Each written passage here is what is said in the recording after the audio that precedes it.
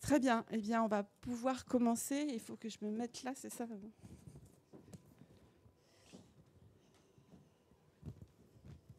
Alors, j'ai préparé quelques notes. Donc déjà, je vais me présenter. Je suis Catherine Boyen et j'ai le grand bonheur de diriger la station biologique de Roscoff, qui fête ses 150 ans cette année, puisqu'elle a été fondée en 1872. Alors, eh bien déjà, euh, bienvenue à tous et à toutes. Et euh, bah oui, je suis vraiment euh, très heureuse de vous accueillir ici.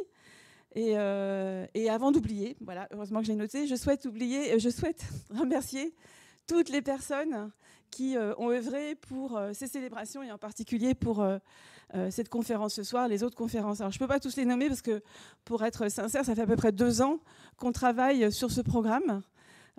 qui va donc qui démarre aujourd'hui, mais qui va durer toute l'année avec différents événements et en particulier ces conférences.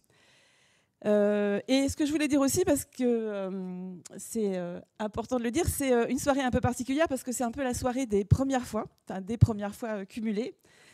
Donc c'est le premier événement du programme des célébrations des 150 ans de la station biologique de Roscoff. C'est le coup d'envoi. C'est la première conférence grand public d'une série de huit conférences ou peut-être plus, peut-être qu'on aura des invités euh, qu'on n'a pas encore identifiés aujourd'hui. Donc bien sûr, suivez euh, l'actualité et le site web de la station. Il y en aura à peu près une par mois, jusqu'en septembre-octobre. Voilà, asseyez-vous, nos bénévoles. Et, euh, et puis, eh bien, c'est la première conférence, et c'est presque émouvant, à, pleine jauge, parce que maintenant on parle comme ça, on dit jauge, donc avec une salle quasiment remplie. Euh, depuis fort longtemps, mais surtout depuis que euh, cet endroit a été rénové. Donc je ne sais pas pour ceux qui, euh, sont venus, il y a eu de, nombreux travaux et la salle a été, vraiment totalement rénovée. Elle est d'un confort acoustique incroyable. Et, donc bah, voilà, c'est bien de savoir que enfin on peut on peut faire des conférences en étant tous les uns assis à côté des autres, parce que jusqu'à présent, c'était plutôt 10-12 personnes dans la salle et le reste en, visio. Et puis, eh c'est la première fois que nous recevons euh, Isabelle Autissier à la station. Voilà, donc ça me fait une transition. Euh, on ne présente pas Isabelle Autissier, mais je vais quand même euh, vous dire quelques mots parce que son parcours est tout à fait impressionnant. Donc, et puis que sa page Wikipédia est vraiment très très bien faite. je n'ai pas, pas, consulté que celle-là. Donc, une sportive de haut niveau, également une navigatrice de haut niveau et première femme à faire le tour du monde en course dans la catégorie IMOCA, c'est bien ça? Euh, ingénieur à Lieu, alors ça je l'ai découvert, ce qui nous rapproche un peu quand même, hein, euh, parce qu'il y, a des ingénieurs à Lieu à la station de, Rennes d'ailleurs. Écrivaine de romans, et euh, a tenu une émission sur France Inter, Les récits d'Isabelle Autissier, que, j'ai beaucoup aimé et que j'ai suivi, ça fait déjà quelques années. Et puis bah, également une femme militante et engagée. Euh, et, ce soir, c'est en tant que présidente de WWF France qu'Isabelle intervient. Euh, et, hasard de la programmation, parce qu'en fait, on ne l'a pas voulu ainsi, sa, conférence se tient donc euh, aujourd'hui, une semaine après le One Ocean Summit à Brest, c'est-à-dire le sommet de l'océan, donc qui s'est tenu, enfin voilà, grand sommet international avec des, chefs d'État, qui s'est tenu à Brest la semaine dernière, où Isabelle était et où WWF était, était très bien représenté. Alors, ce que je voulais aussi dire, c'est que ça a beaucoup de sens de vous avoir euh, ici euh, ce soir avec nous, Isabelle, parce qu'en tant que scientifique, eh bien, euh, à la station biologique de Roscoff, on étudie, pour faire très très court, la vie dans les océans. Et, nous savons combien cette vie et cette biodiversité sont menacées, bah, essentiellement par l'activité humaine, hein, il faut le dire, et combien il est essentiel d'informer encore et encore les citoyens et les enfants euh, sur les richesses de l'océan et son rôle pour la survie de l'humanité. Je pense que je n'exagère pas, hein. on en est là quand même. Donc, euh, vous, Isabelle, vous êtes une femme fortement engagée pour la cause de l'océan et une personnalité euh, très inspirante pour tout le monde, y compris pour nous, les scientifiques. Il est donc intéressant, utile et probablement fort stimulant de croiser nos regards et de partager cette expérience avec le grand public. Euh, je vous laisse donc euh, la parole pour une conférence qui est intitulée Quels engagements pour l'avenir des océans?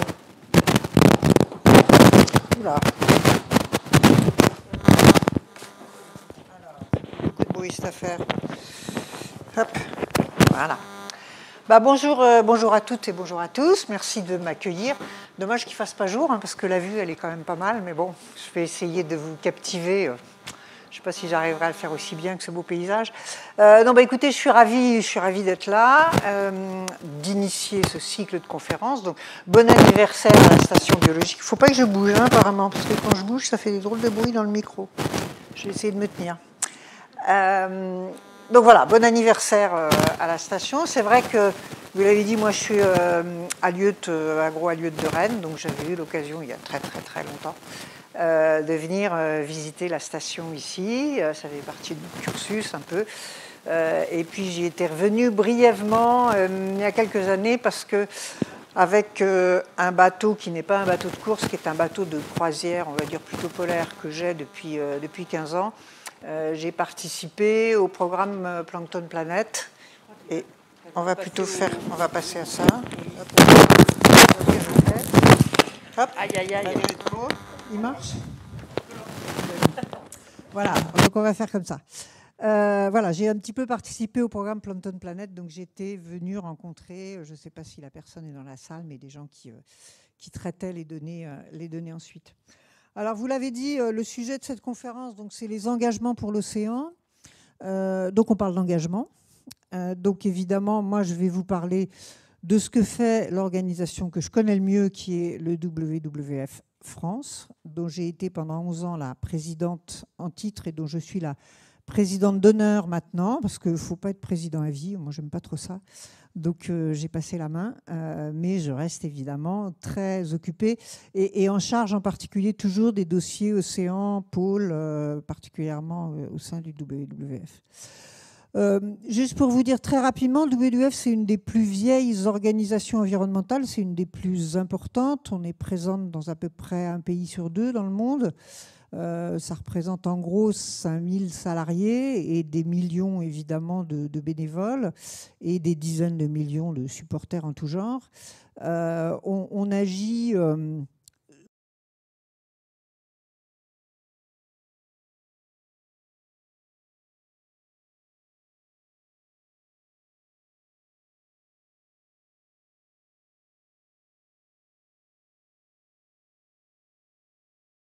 le WWF, euh, une stratégie bien sûr et euh, une sorte de tactique. Euh, et donc dans notre stratégie, il y a des grands piliers. Donc il y a évidemment l'océan, comme il y a le 12, comme il y a la biodiversité, comme il y a le climat, comme il y a tout ce qui est consommation durable. voilà, il y a un certain nombre de grands piliers. Et puis on a un certain nombre de, de façon transversale, euh, de, euh, là aussi, pardon pour l'anglicisme, de ce qu'on appelle les drivers, c'est-à-dire des, des, leviers, au fond, euh, des leviers qui sont l'action sur le monde économique, l'action sur la finance et l'action sur la gouvernance, c'est-à-dire sur le monde politique. Donc voilà, donc tout ça, ça fait, ça fait évidemment beaucoup de choses. Le WWF France, à l'heure actuelle, il y a 120 salariés dont l'essentiel est à Paris, avec euh, une, station, euh, une station sur la Méditerranée, une station à Marseille, puisque euh, je vous l'expliquerai, l'essentiel de notre investissement mer, c'est sur la Méditerranée, c'est un choix qu'on a fait. Mais on a aussi une station en Guyane et une station en Nouvelle-Calédonie, sur lesquelles on a évidemment aussi des programmes, des programmes mer et océan. Donc, donc voilà. Alors nous, nous quand, on, quand on nous demande un peu Qu'est-ce que vous faites? Euh, J'aime bien résumer en, trois phrases, euh, en trois mots même, tout simplement. Euh, c'est au fond alerter, protéger, transformer. Alerter parce qu'il faut encore le faire. Donc notre rôle en tant que qu'ONG, bah, c'est de tirer la sonnette d'alarme, c'est de montrer ce qui ne va pas. Et donc, de, voilà. Euh, protéger, et ça c'est la mission historique un peu du WWF, euh, qui était euh, de d'imaginer de créer des parcs, des parcs à terre, des parcs marins, de protéger des espèces, de protéger des espaces. Et transformer, c'est une mission qui a énormément monté en puissance depuis, je dirais, une petite vingtaine d'années, hein, puisqu'on est une organisation qui a un peu plus de 60 ans. Euh, qui au fond est la, suite logique de se dire euh, ça sert à rien de vouloir protéger si à côté on continue de détruire. Donc, euh, qu'est-ce qu'il faut faire pour arrêter de continuer de détruire? Eh ben, il faut transformer nos modes de vie, nos modes de pensée, nos modes de production, nos modes de gestion des choses, euh, notre pensée politique, etc. Donc, euh, ça, c'est quelque chose qu'on a fait monter euh, de manière importante et sur lequel, et, on en reparlera peut-être, sur lequel nous, WWF, on est devenu assez spécialistes, entre guillemets. de, on, est, en fait spécialiste de d'essayer de mettre des gens autour de la table et d'essayer d'en faire sortir des solutions. Mais ça peut être des entreprises, ça peut être des pouvoirs publics, ça peut être des collectivités locales, ça peut être des citoyens, ça peut être d'autres ONG. Euh, voilà, on est, euh, c'est un peu, euh, c'est un peu notre culture en fait. Une des caractéristiques aussi extrêmement importantes, hum, je pense, c'est que nous, on est vraiment une organisation basée sur la science. Et c'est ça qui nous importe. Euh, ce qu'on dit, c'est que euh, on ne pense pas qu'il y a un réchauffement climatique, on ne croit pas qu'il y a un réchauffement climatique. On vous écoute, vous, les scientifiques, qui mesurez un réchauffement climatique. Et donc, à partir de là, on sait que euh, on a des bases solides et que ce qu'on raconte, c'est pas comme ça une opinion, une envie, un caprice ou que sais-je, mais c'est vraiment voilà, c'est la réalité de terrain. Et, c'est vrai que euh, pour moi qui suis marin, ça rejoint quand même. Euh, ben voilà, quand on est marin, on part de, on part de la réalité de terrain, on part de, de, ce qu'on voit autour de nous, et puis on essaye de regarder comment on peut tricoter ça pour aller d'un point A à un point B. Euh, mais on ne commence pas à avoir des envies qui est du vent comme ci ou des mers comme ça. ce que je vous propose, c'est que je vais essayer de dérouler un peu cette présentation. Je sais qu'il y a évidemment beaucoup de scientifiques parmi vous dans cette salle, mais pas que. et, j'ai assez envie qu'après, on ait plus un dialogue, euh, soit de questionnement, soit de témoignage, et que soit qu'un point particulier de ce que j'ai dit vous a retenu ou intéressé ou que vous n'êtes pas d'accord, euh, et, qu'on puisse, euh, qu'on puisse un peu échanger. alors, au niveau international, déjà, je vous disais, on a, on a une sorte de, d'espoir qu'on a essayé de formuler avec des objectifs euh, et, là, on, est euh, sur des objectifs à 2030 qu'on s'est fixés en 2015, donc euh, c'était pour les, pour les 15 prochaines années, qui étaient, si, j'ai retrouvé les, textes, des écosystèmes marins résilients et productifs qui bénéficient aux populations en protégeant la biodiversité, avec un doublement des pêcheries durables, 30% d'écosystèmes sains, en particulier dans les habitats protégés, les mangroves, les récifs coralliens, les habitats côtiers, euh, aussi bien dans les régions polaires, tempérées que tropicales. Euh, une diminution de 50% de la pêche illicite, une collaboration avec les communautés côtières pour identifier des alternatives économiques, ça c'est très important, un focus particulier sur euh, un océan sans plastique, et puis l'implication du monde économique dans ce qu'on appelle une économie bleue durable, qui rejoint euh, les objectifs de développement durable euh, au niveau mondial, et en l'occurrence l'objectif numéro 14. Et pour ça, donc, créer des coalitions d'acteurs à, tout niveau.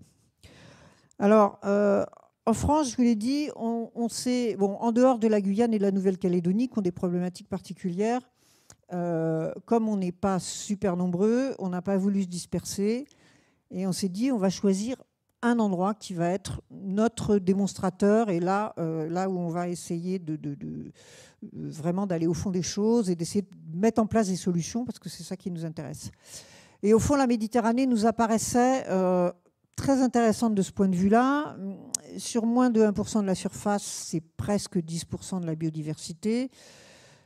C'est une mer fermée, pas très grande, donc on peut euh, imaginer à la fois en faire le tour et aller voir un peu tous les acteurs euh, euh, dans, un temps relativement restreint. c'est aussi une mer qui cumule, donc je parlais de la biodiversité, mais qui cumule aussi les, les désavantages, on va dire, pour la biodiversité. C'est une mer extrêmement fréquentée, 30% hein, du trafic maritime mondial. c'est une mer extrêmement anthropisée que ce soit euh, par le développement des villes, que ce soit par les 500 millions de touristes qui viennent tous les ans, euh, que ce soit euh, par les pêcheries, que ce soit par, encore aujourd'hui, et, même de manière très importante, une exploitation pétrolière et gazière, avec même d'ailleurs des, des, des, ambitions de ce point de vue-là sur lesquelles on est, on est très très attentif. Donc on s'est dit, voilà, c'est une mer qui rassemble plein de problèmes. mais qui est en même temps pas trop grande, et donc on peut essayer de bien comprendre les interactions et on peut essayer de, on peut essayer de travailler. Alors, un première grande, euh, grand, grand, sujet euh, qui va euh, avec à cheval entre le sujet alerté et protégé, c'est le sujet des aires marines protégées. donc nous, globalement, on, est, on défend l'idée qu'on veut 30% de l'océan sous protection et à minima 30% de ces 30% en protection forte on œuvre beaucoup pour que ce soit euh, ce qui soit arrêté par la prochaine grande COP de biodiversité qui a été reportée déjà deux fois, mais enfin qui devrait finir par se tenir, je pense, en Chine, euh, et pour que ce soit un objectif qui devienne euh, un objectif de l'ensemble des États de la planète. c'est pas si évident que ça, parce que par exemple, en ce moment, on est en train de bagarrer comme des fous pour définir, ne serait-ce qu'au niveau français, qu'est-ce que c'est que la protection forte? Parce qu'il y a deux ans, à la suite du rapport de l'IPBES, notre président euh, nous a dit, voilà, euh, la France euh, va mettre 10% des aires marines françaises en protection forte. Mais on n'avait jamais entendu parler de ce mot-là. Donc tout le monde s'est gratté la tête en se disant, ça veut dire quoi protection forte? Parce qu'il y a des définitions qui existent. L'UICN, par exemple, l'Union internationale de la conservation de la nature, a une définition, mais non, nous, on est quand même français, on va quand même s'inventer notre truc à nous. Euh, et là, en ce moment, ça bagarre assez dur parce que euh, les décrets euh, sont en train de s'écrire et on n'est pas très content parce qu'on les trouve un petit peu mous, parce que pour nous, la protection forte, par exemple, c'est un endroit où on ne pêche pas. Et là, on est en train de nous dire oui, mais vous comprenez, etc. Bon, enfin bref. donc il y, a encore quand même un sujet, mais, c'est vrai que c'est notre objectif global. Et à l'intérieur de ça, il y a quelque chose qui pour nous est fondamental, c'est que cette protection euh, doit bénéficier aux populations locales. On ne peut pas imaginer, il ne s'agit pas de mettre sous cloche des espaces en disant, ben là voilà, euh, c'est le règne euh, de la panthère des neiges, des baleines ou de je ne sais pas quoi, et plus personne n'a le droit d'y aller. Il y a effectivement quelques endroits où il faut dire ça, où il faut dire là, personne ne peut y aller, mais une aire marine, euh, si on n'est pas en protection forte, une aire marine, j'allais dire normale, euh, doit pouvoir accueillir des hommes, doit pouvoir accueillir des activités, à condition que euh, la notion de biodiversité de, production et de protection de la biodiversité soit la première ligne de l'histoire.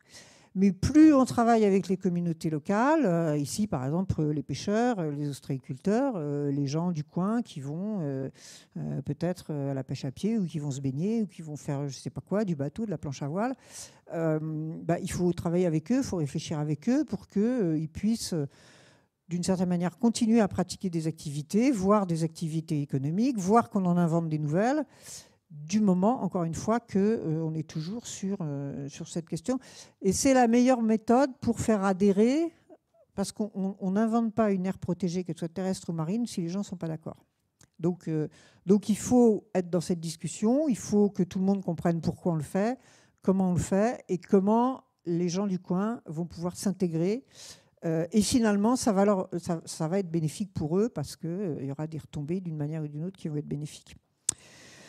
Euh, on a travaillé comme ça, alors on a quelques, euh, quelques réussites. On a été très actifs sur la création en Nouvelle-Calédonie euh, du parc de la mer de Corail. On a été très actifs aussi en Méditerranée. Je sais que ça a été un dossier sur la création du parc des Calanques, avec des, des, voilà, des... C'est pas facile les Marseillais toujours, ils sont sympas, hein, mais Mais bon, et, on, travaille aujourd'hui sur euh, un parc euh, en Guyane qui serait entre la Guyane française, euh, le Suriname et le Brésil. en ce moment, avec le Brésil, je ne vous casse pas que c'est légèrement compliqué. Voilà, on s'appuie là depuis le dernier congrès de l'UICN qui a eu lieu à Marseille euh, notre président nous a annoncé qu'il allait vers un objectif en Méditerranée de 5% effectivement d'air protégé. Pour l'instant, on en est à 0,25, donc on a une marge de progression, on va dire. Euh, et, donc voilà, donc là, on, bah, on prend ce dossier à bras le corps. Et, euh, et, alors, comment on a travaillé? Il y a 5 ans à peu près, 5-6 ans. On a fait un énorme boulot au niveau de tout le bassin ouest de la Méditerranée. Euh, on a euh, répertorié, euh, bah, en s'appuyant sur évidemment vos compétences, toutes les grandes aires de biodiversité des différentes espèces, tous les hotspots de biodiversité. Et puis après, on a été chercher, et là c'était vraiment un travail de Sherlock Holmes, on a été chercher tous les projets qui existaient pour la Méditerranée que ce soit des projets de pêche, euh, d'éoliennes en mer, euh, euh, de tourisme, de développement côtier, de voilà, de, tout. On a, on a regardé et en fait personne n'avait jamais trop fait ce travail. Et, et, on a tout empilé sur une même carte et là ça fait peur parce que euh, on voit tout de suite que ça marche pas, que euh, on peut pas à la fois euh, aller forer pour chercher du pétrole et faire et avoir une aire de biodiversité juste à côté, ou avoir un site touristique absolument exceptionnel, etc. Donc on a quand même on a fait ce travail, cette spatialisation. Et, c'est à partir de cette spatialisation qu'on a déterminé ces zones de hotspot de biodiversité qu'on jugeait particulièrement en danger et où c'est maintenant, euh, au niveau de l'ensemble du bassin, c'est là-dessus qu'on fait porter euh, nos efforts pour dire c'est là qu'on veut, euh, veut développer ces zones de protection. donc évidemment, tout ça n'est pas simple. on, a, on a des victoires. on a par exemple, on a, on a beaucoup beaucoup travaillé sur le fait qu'on voulait plus d'exploitation pétrolière, puisqu'il y avait des projets français en Méditerranée. Euh, pétrole et gaz. Euh, on a fini par avoir gain de cause non seulement au niveau de la Méditerranée d'ailleurs, mais de l'ensemble euh, de la Z2 française. mais par exemple, là, on, donne on essaye de donner un gros coup de main à nos, amis grecs parce qu'il il y a des projets de forage pétroliers au large des îles grecques. mais vraiment, c'est, ça fait juste peur. Quoi, hein.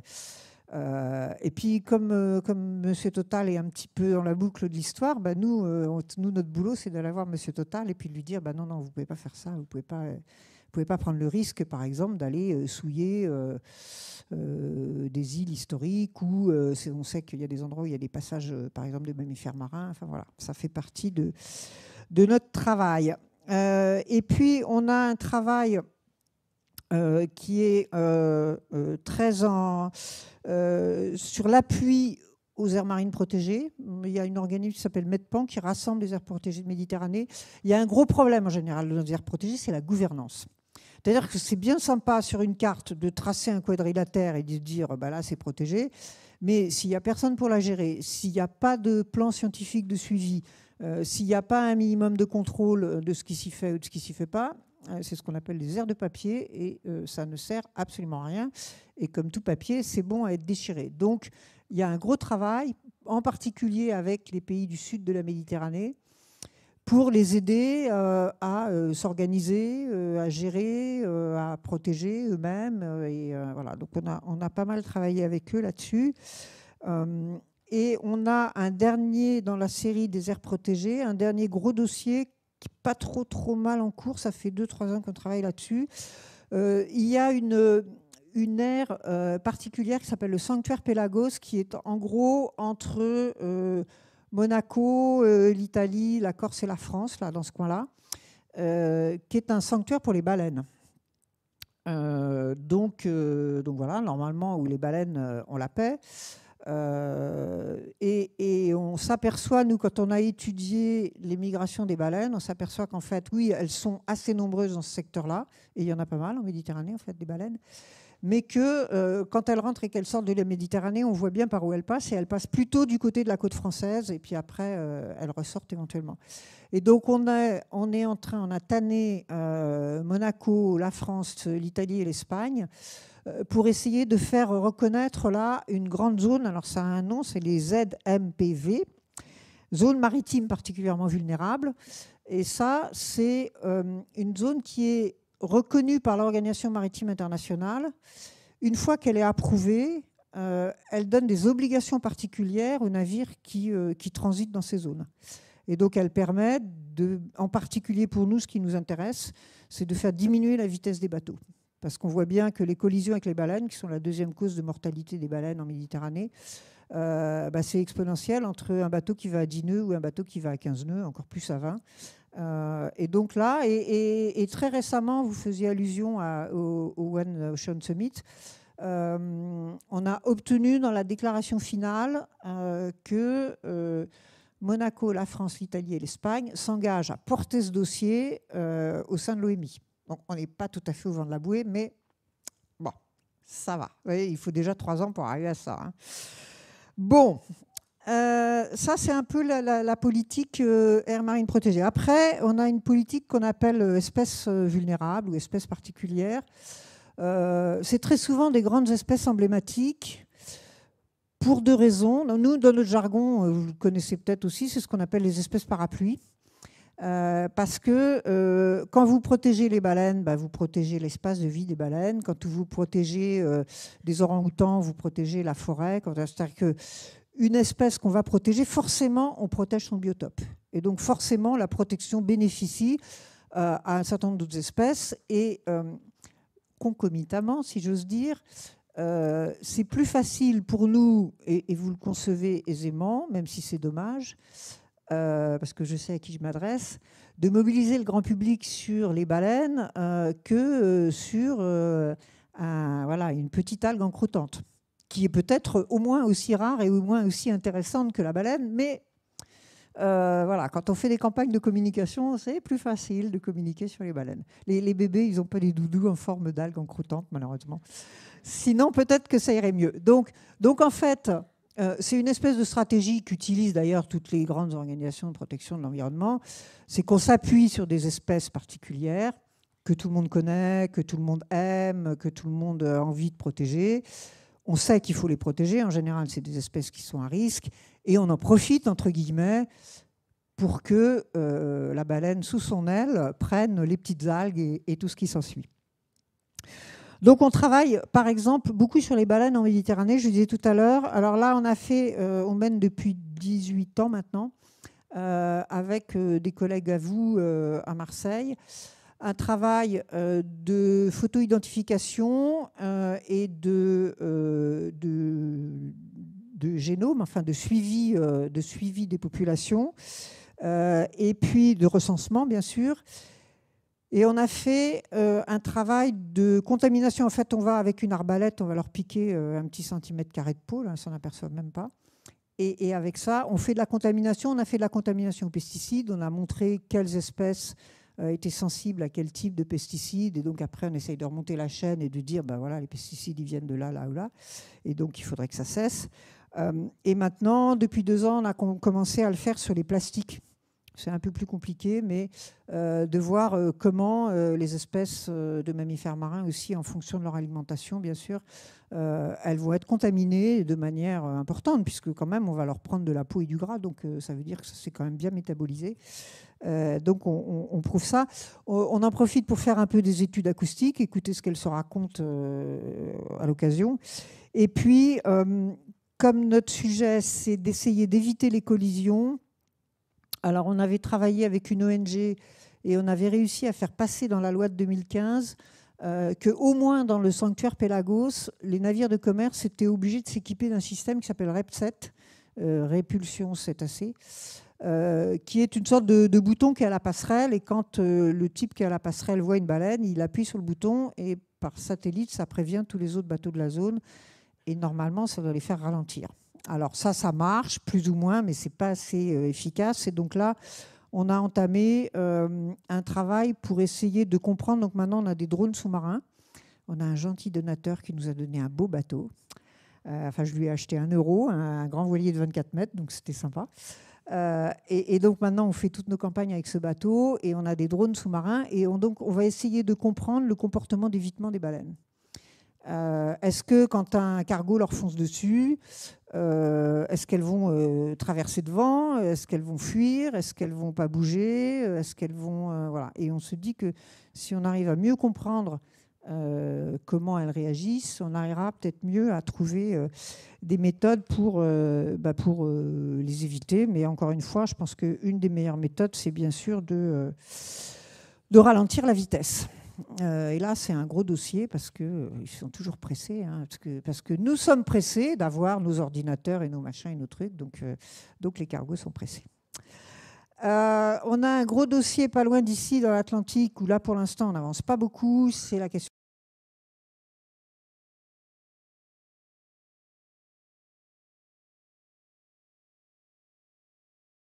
Euh, ce qui veut dire que 1000 échouages, il y a pratiquement un coefficient de 10 sur le nombre d'animaux morts ou capturés. Euh, parce qu'en gros, à cette saison de l'année, le golfe de Gascogne est barré par, par les filets. On a à peu près 30 km de filets par bateau. Donc, euh, je sais pas, vous allez quoi d'ici à d'ici à Lannion ou d'ici à je sais pas où. Enfin bon. Et, euh, et, ça, c'est un vrai sujet. On a été condamné encore par l'Union européenne parce que c'est une espèce protégée. Enfin, l'ensemble des dauphins sont des espèces protégées. Euh, on a beaucoup de mal. On a essayé de demander que à minima les pêcheurs, parce qu'on voudrait comprendre aussi comment ça se passe, donc que les pêcheurs remplissent des fiches, euh, qu'on puisse mettre des caméras pour filmer les filets, pour comprendre euh, où est-ce qu'on empêche, euh, qu'est-ce qui se passe. On a beaucoup, beaucoup, beaucoup de mal. Et puis surtout, ce qu'on voudrait, c'est que la pêche soit fermée en hiver, parce qu'on sait que c'est en hiver que ça se passe, on sait que c'est maintenant, là. et il nous faudrait à minima, en discutant avec vos collègues mammologues et cétologues et autres, euh, on sait que, que c'est le moment où les animaux reviennent un peu et c'est là qu'ils se font prendre. Et, donc, on, essaye de discuter, mais euh, Madame la ministre de la Mer n'est pas super euh, compréhensive sur le dossier. Donc, on continue, on en reparle régulièrement. Et bon, on finira, j'espère, par arriver à quelque chose. Surtout que, encore une fois, on se fait condamner par l'Union européenne. Donc, c'est vraiment euh, une, autre espèce euh, où je trouve que c'est intéressant, c'est un, exemple guyanais. On a beaucoup travaillé sur les tortues, bien sûr. Euh, et, là, il y a une trentaine d'années, quand on est arrivé en Guyane, bah, la tortue, elle était mangée par les gens. Elle était vendue sur les marchés. Donc d'abord, il a fallu convaincre les communautés locales qu'on pouvait faire autre chose avec les tortues que les manger et qu'en particulier, on pouvait imaginer par exemple du tourisme euh, du tourisme vert, des gens qui viennent voir les tortues et que c'est les gens du village qui ont construit les cases, qui accueillent les touristes, qui les emmènent voir les tortues euh, et qui évidemment euh, récupèrent, les sous à la fin. Et que finalement, une tortue vivante rapportant plus d'argent qu'une tortue morte, et puis aussi le lien se créant autrement entre les humains et les animaux, parce qu'au lieu d'être sur une prédation, on est du coup sur une valorisation où les gens, euh, ils emmènent des, touristes qui vont s'extasier, donc eux-mêmes, ils sont, enfin voilà, on, arrive à inverser un peu la machine et ça, ça, ça, marche plutôt très bien. On a maintenant des, communautés villageoises qui sont qui sont très euh, voilà qui défendent leurs tortues et, euh, et qui sont voilà qui sont qui sont très impliqués et puis on a fait une autre chose qui était pas mal avec eux parce que en Guyane il y a des pêcheurs de crevettes de grosses crevettes qui se pêchent au filet et on avait tout le temps des captures accessoires de requins et de tortues dans les filets. Et, euh, en général, les bestioles s'étouffaient, euh, mouraient. Euh, les pêcheurs râlaient parce que ça écrasait les, crevettes. Et donc, on a travaillé avec eux, avec des équipes plutôt américaines d'ailleurs. Et, on a mis au point avec eux un espèce de, ça se présente comme une espèce de grille en aluminium avec des, écarts d'au moins 10 cm entre les barres, comme ça, qui est à l'avant du, filet et euh, qui, barre le filet, qui fait une espèce de gentille sortie de secours. C'est-à-dire que les, gros animaux vont, glisser sur, ce, sur, ce, sur, cette espèce de, grille euh, et sortir. Et évidemment, les crevettes, elles, vont passer au travers et, elles vont aller dans le filet. Et, ça marche super bien. Et après, on a obtenu que euh, il y a un label spécifique qui soit euh, décerné à ces crevettes de pêche durable, euh, qui est très valorisé en France. Et là, on est en train de travailler au niveau de l'Union européenne. Et on voudrait que l'Union européenne n'autorise plus d'importation de crevettes sur son territoire d'aucun pays qui n'aurait pas ce système-là. Et on a, il n'y a pas tant de pays que ça qui importent des crevettes en, Europe. Il y a des gros tonnages d'importation. Je ne parle pas de crevettes d'élevage, hein, mais je parle des crevettes sauvages. Euh, et il y a quatre ou cinq pays, et, voilà, on est en train. Euh, et là, euh, je sais pas, encore au One Ocean Summit, ça a été un peu évoqué, donc je pense que ça avance. Ursula von der Leyen en a parlé, donc. Donc le dossier avance. Maintenant, il faut qu'on aille voir, euh, voilà, faut qu'on aille creuser un peu plus au niveau de la commission pour voir exactement euh, comment il faudrait essayer de prendre la mesure, mais pour essayer de, d'élargir en fait ce, procédé qui a l'air de faire plaisir à tout le monde. Donc vous voyez, c'est voilà, un peu le genre d'action qu'on essaye de mener. À la, croisée, je dirais, de, euh, la connaissance scientifique, bien sûr, euh, mais aussi du rapport humain et, euh, des questions économiques parce que, et politiques parce que, parce que ça joue. un petit mot sur la pêche quand même, globalement. Alors la pêche, pour nous, c'est un, une sorte de lobbying global. on a, WWF a un très gros bureau à Bruxelles, donc c'est plutôt le bureau de Bruxelles qui s'intéresse à la politique commune des pêches, la PCP, qu'on essaye de faire avancer le mieux possible. Et nous, notre boulot en France, comme on est quand même aussi un grand pays de pêche, euh, bah, c'est de faire en sorte que la France défende les bonnes positions qu'il faut au niveau de la communauté européenne, ce qui n'est pas toujours très simple. Mais euh, voilà, euh, en particulier le, le, fait que euh, bah, que quand on définit des quotas, par exemple, on définit des quotas qui soient basés sur ce que vous, euh, scientifiques, euh, vous dites, et qu'on soit sur des rendements maximum durables et pas sur des évaluations au doigt mouillé, et qu'on ait un contrôle. Et surtout, on est, on est aussi assez vigilant au fait qu'il n'y ait pas ou le moins possible de subventions néfastes à la biodiversité parce que évidemment l'Union européenne distribue extrêmement largement les subsides. Euh, et quand c'est des subsides pour avoir euh, des bateaux plus grands, plus gros, avec plus de moteurs et plus d'engins de pêche, euh, bah, nous, on considère que c'est de l'argent qui va quelque part à l'encontre de la biodiversité. Et que si on doit subventionner les pêcheurs pour des choses, c'est plutôt pour leur faire adopter des engins de pêche moins, moins impactants, éventuellement pour avoir des moteurs de même puissance mais moins gourmands en en carburant, euh, pour euh, éventuellement changer de méthode de pêche, passer de, des méthodes de chalut, par exemple, dont on sait qu'elles sont très impactantes, à des méthodes qui soient un peu moins, ou par exemple, euh, pourquoi pas, donner, donner de l'argent aux pêcheurs si on leur demande d'arrêter six semaines la pêche pour, pour ne pas ramasser trop de dauphins. Ben, on peut tout à fait imaginer que à ce moment-là, ils touchent, ils touchent de l'argent au niveau européen. Donc, euh, donc voilà, donc ça c'est du, travail de, de grouillot de ministère. Hein. on a, euh, chez nous, on a, une fille géniale, on l'appelle le pitbull parce que euh, quand elle plante ses crocs dans un dossier, elle ne le lâche pas. Donc voilà, il faut retourner voir les cabinets ministériels et un certain nombre de gens pour essayer de faire avancer ces sujets. Sur la pêche, alors il y a un dernier sujet qui est, euh, un sujet un peu difficile pour nous parce qu'on a vraiment été à la création de ça et on n'en est plus très content maintenant, enfin moins. Euh, c'est la certification. Parce qu'au départ, euh, on s'est dit, bah, c'est une bonne idée que les gens qui pêchent bien, ils aient une certification qui le reconnaissent et que du coup, ça valorise après le produit auprès des clients et sur les marchés et tout ça. Donc on a été beaucoup, on a été vraiment à la création du label euh, MSC, Marine Stewardship Council, euh, qui, voilà, qui était ça, qui était le fait de s'adresser à une pêcherie, euh, de regarder comment ils travaillaient, comment ils évoluaient, et puis voilà. Et, je dis qu'on en est un peu, un peu plus, c'est un peu plus difficile en ce moment parce que donc MSC est devenu une organisation indépendante. Nous, on a contribué à la créer, mais après, c'était pas notre boulot de d'y être en permanence. Donc c'est devenu une organisation indépendante.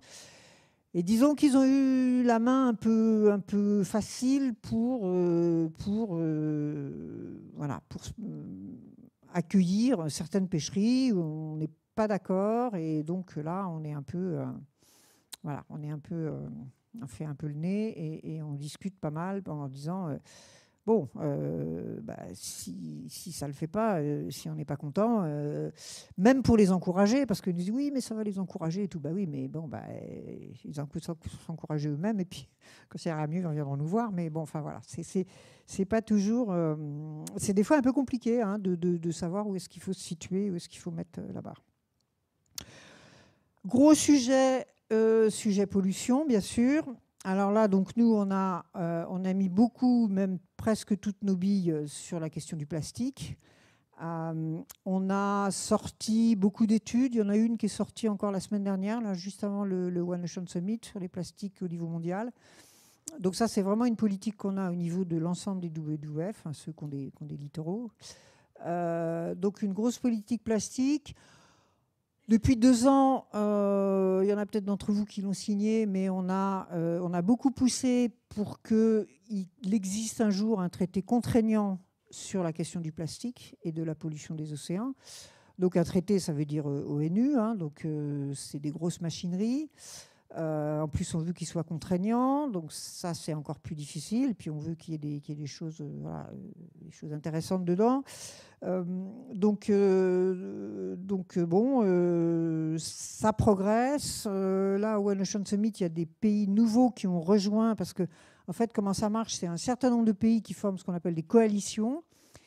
Et la coalition s'adresse à l'ONU en disant ben nous, nous je ne sais pas quoi, le Nicaragua, la France, la Chine, le machin, le truc, on, a, on écrit un texte, on, vous, on demande ça.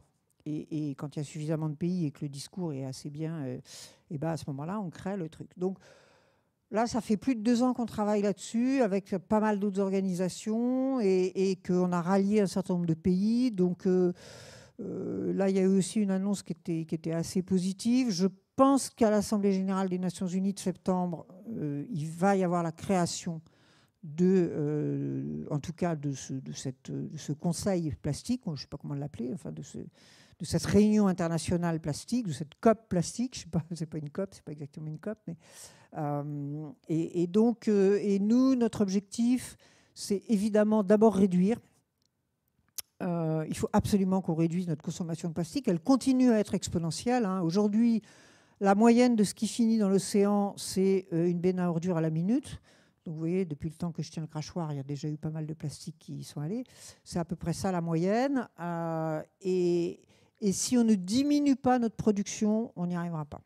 Donc il faut vraiment qu'il y ait des engagements des pays et des entreprises, évidemment, pour diminuer la consommation. Après, faire de la réutilisation, c'est-à-dire d'essayer au maximum de pouvoir euh, réutiliser ces plastiques, euh, re-remplir les bouteilles, enfin voilà. Euh, et puis après seulement, il y a la question de la collecte, évidemment, mais la question de, refondre et de faire du plastique recyclé. Mais le plastique recyclé, c'est bien, mais c'est c'est pas c'est pas une panacée. D'abord parce qu'on se désintoxique pas nous d'avoir l'habitude d'avoir des objets en plastique et des emballages en plastique. Euh, or, c'est quand même ça qu'il faut faire d'abord. et puis que quand vous refaites un plastique recyclé, il est jamais 100% recyclé. C'est pas possible. Donc vous êtes obligé de refaire du plastique neuf, donc d'aller rechercher du pétrole pour refaire du plastique neuf que vous mélangez à votre, à votre vieux plastique. Et puis en plus, il y a plein de plastiques qui ne sont pas recyclables parce qu'ils ont été mélangés à tout un tas de trucs. Parce qu'on a mis euh, des colorants, parce qu'on a mis une feuille d'alu euh, pour le rendre étanche, parce qu'on a fait ceci, qu'on a fait cela, et que l'objet lui-même euh, n'est pas du tout recyclable. Donc il y a plein de plastiques qui ne sont pas du tout recyclables. Donc là, le, dernier étage de la fusée, euh, c'est euh, de, l'incinérer euh, pour chauffer la ville d'à côté. Quoi. Mais bon, ce n'est pas, c'est pas génial non plus. Donc, donc ça, c'est vraiment notre politique plastique. Et du coup, on, a, on a développé un espèce de petit logiciel de travail enfin, pour aller travailler avec les villes. Et on a signé avec un certain nombre de villes en Méditerranée pour les aider à identifier déjà les sources de plastique. Le plastique qu'elles ont devant chez elles, il vient d'où? Euh, alors, il vient peut-être euh, d'un autre pays. En général, ils vous disent tous Ouais, mais c'est pas nous. Euh, ouais, mais c'est en face. c'est les mecs d'en face. Oh, c'est les Italiens, ils sont dégueulasses. Ouais, non, mais les Corses, ils font n'importe quoi. Enfin bon, comme par hasard, c'est jamais, jamais leur plastique à eux. Mais donc, ça mérite d'être un peu expertisé. On s'aperçoit qu'en général, il y en a quand même qui viennent chez eux. Et, euh, là, bah, il faut essayer de les, de les aider à avoir une, euh, comment dire, une, colonne vertébrale pour savoir quoi faire. Euh, en fonction du plastique qu'on trouve, qui est amené par le vent, par les rivières, par les pêcheurs qui abandonnent des filets, par les agriculteurs qui ont des bâches qui s'envolent, par voilà essayer d'identifier tout ça, et puis après, secteur par secteur, essayer d'aller voir les gens et puis de, réfléchir à ce qu'on peut faire. Donc on a, on a pas mal travaillé comme ça, en sachant que la Méditerranée, c'est à peu près l'endroit du monde où il y a la concentration de plastique la plus forte. Donc on est vraiment sur, un, sur un état des lieux qui est quand même, quand même assez catastrophique. Euh, dernier grand, dernier ou pas dernier? Oh Oui, quasiment dernier. Ah non, pas dernier, avant-dernier. Euh, la question diplomatique. Alors, euh, il se trouve que la France, c'est un pays qui a la deuxième diplomatie du monde. Ça paraît pas comme ça, mais on a, par notre histoire sans doute, on a une diplomatie qui est euh, forte, active, connue, euh, qu'on se mêle de tout, euh, qu'on on a des réseaux partout et que nos ambassadeurs, etc. voilà.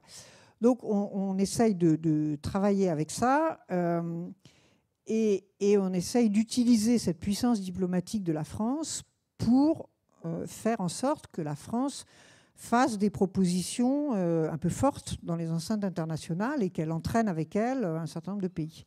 Alors à ce sujet-là, on a deux ou trois euh, dossiers. On en a un euh, dont vous avez dû entendre parler qui s'appelle BBNJ, donc Biodiversity Beyond National. voilà. ce qui veut dire qu'en gros, aujourd'hui, il y a une régulation en mer jusqu'à 200 000 des côtes, qu'au-delà de 200 000 des côtes, il y a le fond de la mer, euh, mais le, fond solide, euh, qui est plus ou moins géré par l'autorité internationale des grands fonds, mais que tout ce qui est entre le fond et la surface, il n'y a rien. C'est le Far West, tout le monde fait qu'est-ce qu'il veut, euh, à part quelques règles de sauvetage de la vie humaine ou de, de chasse aux pirates, mais sinon, il n'y a rien. Et donc, depuis maintenant 4 ans au moins, euh, bah, on essaye au niveau, au niveau de l'ONU, euh, il y a euh, des groupes de travail qui essayent de réfléchir à une gouvernance de la haute mer. Qu'est-ce qu'on fait de la haute mer? Qu'est-ce qui est important à faire? Quelles règles on se met? Qui a le droit de faire quoi?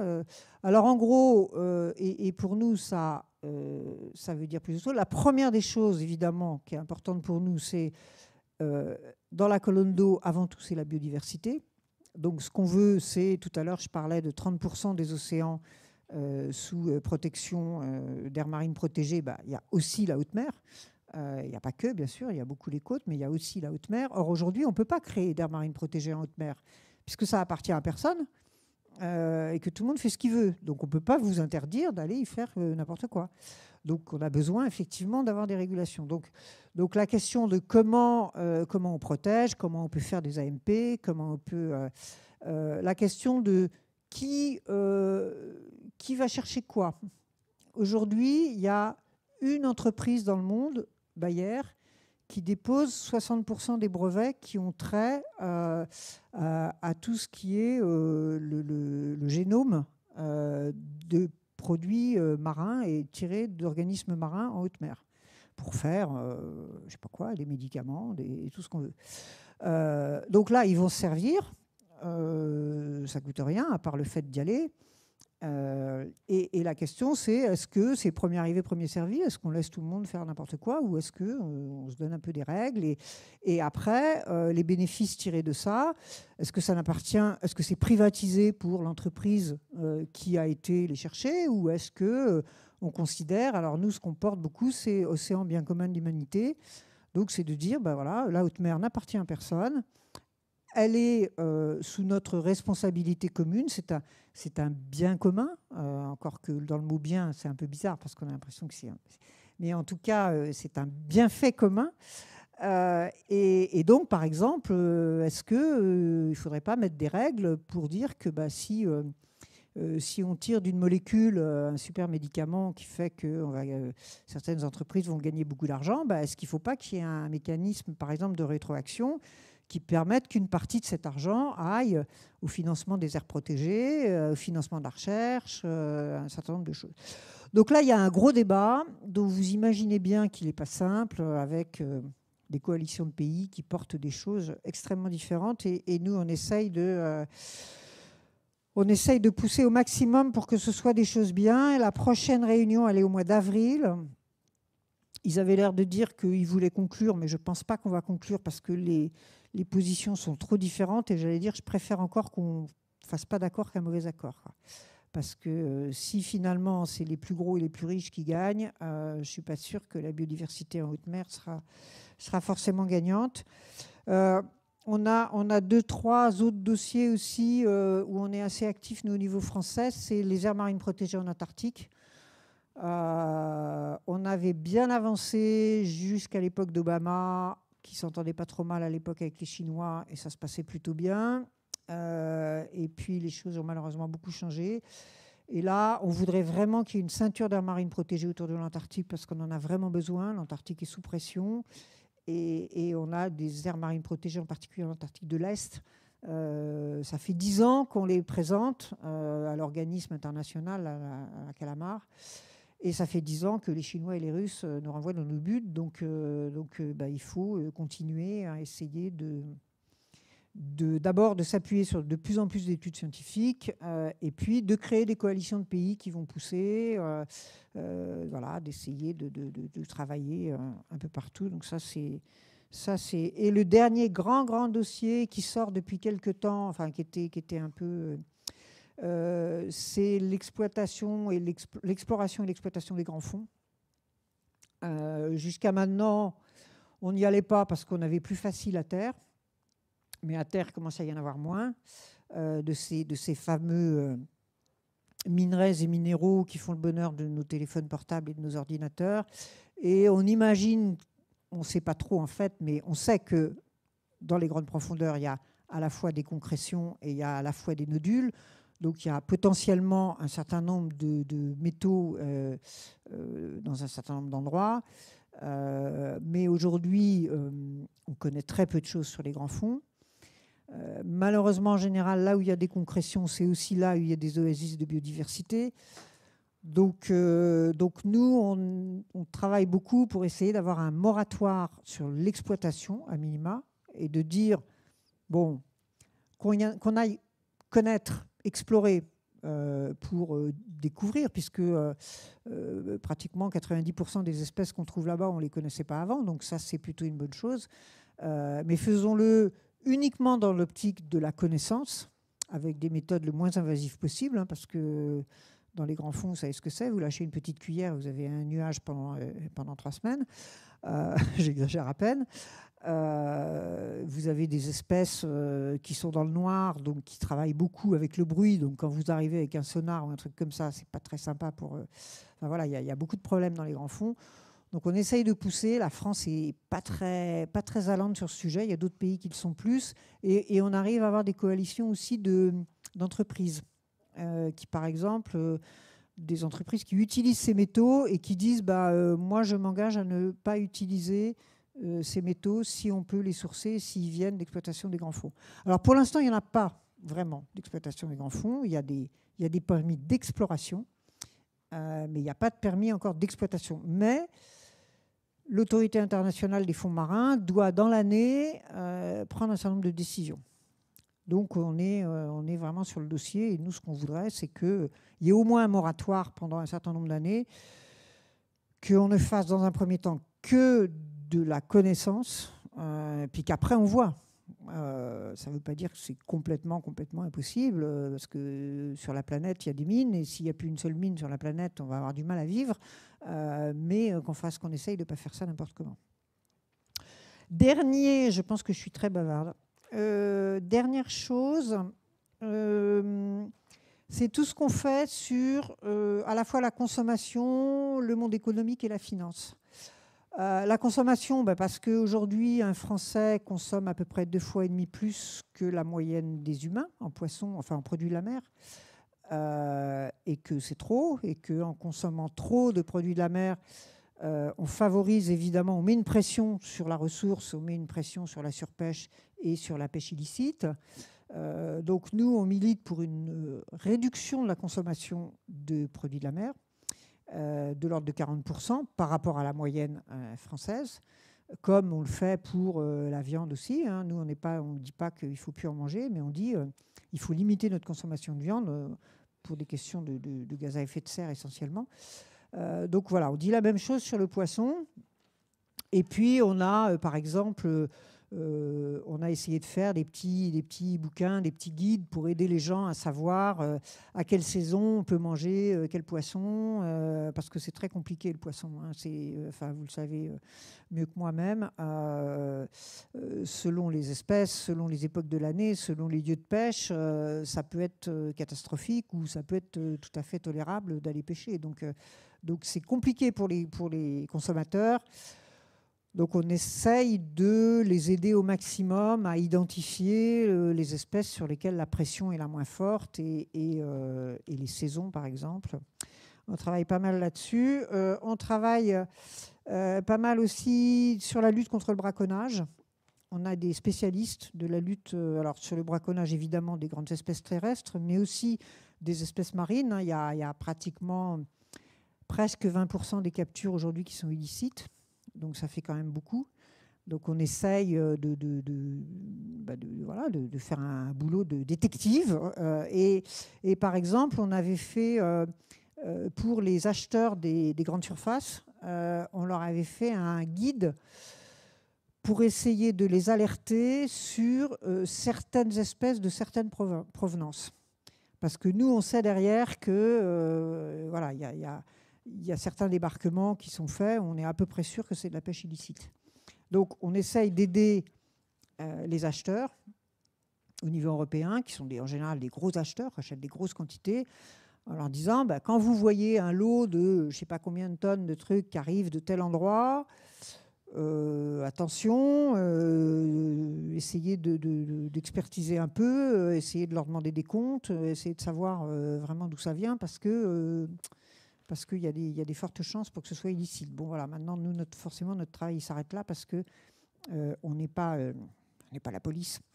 Euh, mais ça progresse quand même, puisque maintenant, le, braconnage et le, trafic d'espèces marines est devenu un crime. Euh, au même titre qu'un certain nombre d'autres crimes internationaux. Il y a une cellule spécialisée de l'organisation internationale de, la, police là, qui s'en occupe et euh, on commence, parce que ce n'est pas le petit pêcheur hein, qui, va, qui va pêcher le, poisson qui fait 2 cm trop long, hein. ce n'est pas ça le problème. Euh, le problème, ce sont des gros navires équipés en général par de l'argent plus ou moins mafieux qui font des grosses captures. Donc on n'est pas avec des... C'est pas, pas des bisounours, ce n'est pas des, petites choses, quoi, hein, les petits... Les petits mec, on s'en fiche, quoi. Mais euh, il y a quand même derrière euh, des intérêts, euh, de l'argent noir, de l'argent sale et des pratiques. moi, j'ai beaucoup travaillé pour les, terres australes et antarctiques françaises. Il y a un moment, c'était la guerre, quoi. Vraiment la guerre. Les mecs, ils étaient armés, ils tiraient, quoi. Donc, ils tiraient sur les pêcheurs qui avaient des autorisations. Donc, il a fallu envoyer l'armée. Il a fallu détourner des satellites pour spotter les bateaux illicites. et c'était des gros navires. Hein. C'est des bateaux qui faisaient 40-50 mètres. Donc, c'était pas on n'était pas. Alors maintenant, on a les, albatros qui font les flics, là. Vous avez, vous avez vu ça C'est euh, assez génial. euh, parce que ça fait longtemps qu'on puce des albatros pour euh, arriver à connaître leurs déplacements, arriver à connaître leurs dépenses énergétiques, etc. Donc ça, c'était dans un but uniquement pour connaître les populations d'albatros, comprendre un peu mieux comment ils peuvent passer toute leur vie en mer. Et puis, euh, on s'est aperçu qu'en fait, dans la puce, on pouvait mettre euh, une petite ligne de, code en plus pour que euh, l'albatros signale les radars. Et donc, quand il vole, donc comme la puce, elle envoie régulièrement les infos, on a une position et on sait qu'il y a un radar. Et là, on compare. Vous savez que tous les grands navires sont obligés d'avoir un système qui s'appelle l'AIS, qui, qui, les, qui les répertorie, hein, qui donne leur et eh ben, quand il n'y a pas de, d'AIS derrière, c'est que c'est un pirate. Voilà. Donc là, vous pouvez envoyer l'armée. Donc les albatros sont les flics maintenant dans les mers du Sud. Bon, pourquoi pas. Euh, et puis, euh, donc on travaille aussi pas mal avec euh, tous les, les, acheteurs, les gens qui transforment le poisson, etc. pour là aussi essayer de, les faire aller sur euh, arrêter de leur faire acheter des espèces par exemple sur le thon on avait beaucoup travaillé là-dessus à l'époque du thon rouge de Méditerranée où on a quand même gagné. Euh, bah, on avait obtenu, par exemple, que Carrefour arrête de mettre du thon de Méditerranée dans ses, dans ses magasins. Enfin, voilà, on essaye de les amener aussi à changer leur politique d'achat en particulier, à, mieux informer le, public, les acheteurs, etc. Et puis notre dernier dossier, c'est assez... Euh, on s'est lancé dans la finance. Depuis quelques années, on travaille beaucoup avec, euh, avec les gens du secteur de la finance, parce que là où il y a des sous, il se passe quelque chose. Et on travaille sur un sujet qui s'appelle le carbone bleu. Alors le carbone bleu, euh, euh, le carbone vert, tout le monde comprend ce que c'est. C'est les arbres qui stockent du carbone euh, quand ils grandissent, etc. Mais en mer, il y a un énorme stockage de carbone, colossal, à travers le phytoplancton en premier, mais aussi éventuellement à travers les marais littoraux, les, zones de mangroves. les, voilà. et donc la question, c'est comment est-ce qu'on peut utiliser l'argent de la finance pour protéger et développer ces zones-là? Euh, comme on le fait euh, avec des crédits carbone, euh, comme on le fait avec... quand vous êtes, par exemple, aujourd'hui un pays ou une organisation qui protège réellement sa forêt, vous avez des points carbone que vous pouvez vendre sur le marché du carbone. et l'idée, c'est d'essayer de faire un petit peu la même chose euh, et donc de favoriser des projets, par exemple, de conservation euh, ou euh, des projets de, par exemple, de reforestation de mangroves en Afrique ou de, ou de, choses comme ça, en les faisant financer par un système de crédit vert, de crédit bleu, du coup, qui serait financé par le, par le secteur de la finance. Et donc, pour ça, on a besoin de relais. Donc là, nous, on travaille beaucoup avec AXA.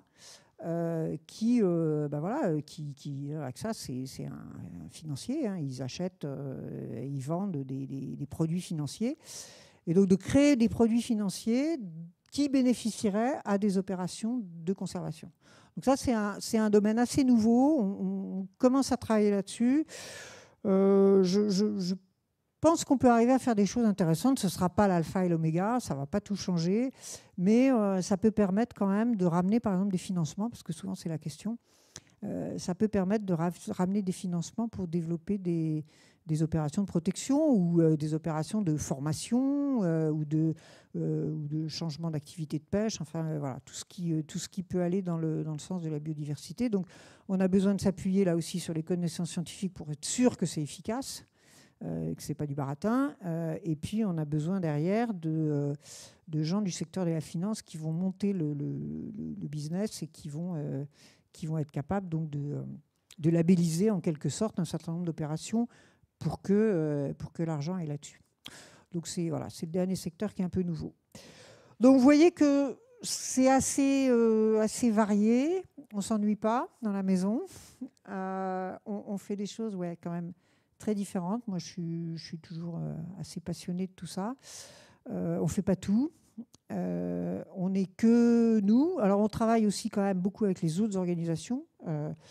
on travaille avec Greenpeace, avec Sea Shepherd, avec France Nature Environnement, avec je sais pas quoi. On fait aussi, nous, des coalitions, des coalitions de d'ONG, euh, on va porter des messages ensemble, on se met d'accord pour faire des opérations ensemble, des choses comme ça. Des fois, on n'est pas d'accord d'ailleurs, il n'y a pas que. Mais, euh, mais en tout cas, voilà, on essaye de, de, pousser un peu tous ensemble pour, euh, pour arriver à faire changer les choses en sachant qu'elles changent. Ça, c'est la bonne nouvelle. Qu'elles ne changent pas assez vite, ça, c'est la mauvaise. Donc pour l'instant, on continue à perdre de la biodiversité globalement on continue à perdre des espaces euh, et on continue à voir la pollution qui augmente. Mais euh, je crois qu'il faut, bon, faut s'accrocher. Euh, de toute façon, si on n'y va pas, ça ne se fera pas tout seul. Il faut qu'on y aille tous ensemble. Et, je crois que, voilà, qu'il y a, y a du boulot pour tout le monde et il y a quand même encore un petit peu d'espoir dans ce monde de brut. Merci.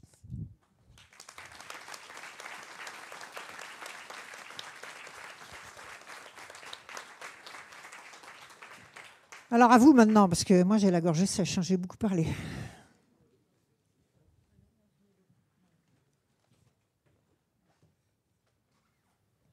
Donc Donc, remarques, commentaires, critiques, enthousiasme, vos histoires à vous, ce que vous pouvez faire ou ce que vous développez, parce que je pense que à Roscoff, vous faites sûrement plein de choses aussi. voilà, n'hésitez pas. Alors, ici, puis après, derrière. Euh, j'ai juste une question. Euh, enfin, vous avez cité énormément d'actions que vous avez fait et euh, je me demandais, est-ce que c'est que W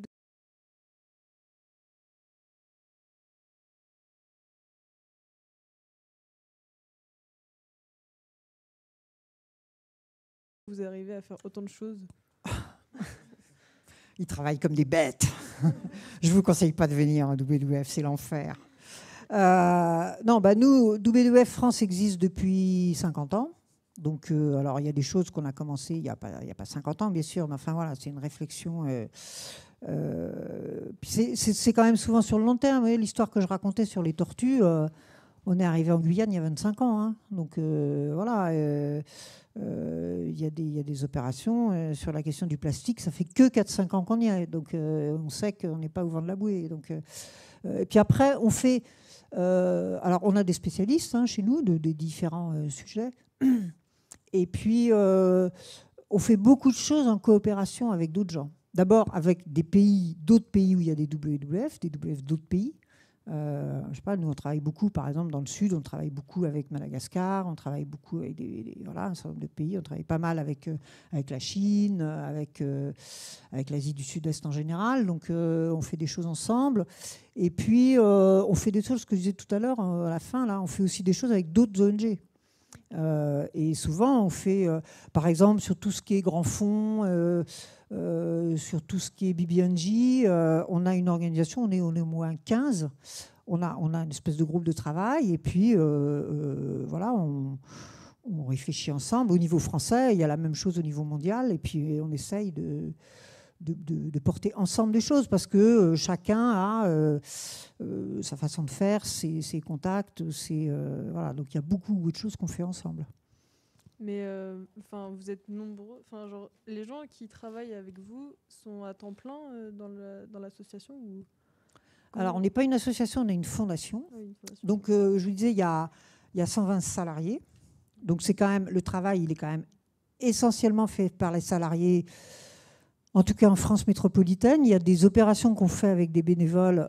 On fait c'est plus facile de faire des opérations avec des bénévoles en Guyane et en Nouvelle-Calédonie parce que euh, on a, euh, c'est plus facile de les faire avec les espèces. Euh, vous pouvez pas envoyer un bénévole voir un banquier, hein, c'est, ou même voir, voilà, ou voir un ministre. Par contre, on fait jeu, par exemple, ce qu'on fait sur les baleines, on a des bénévoles sur le bateau.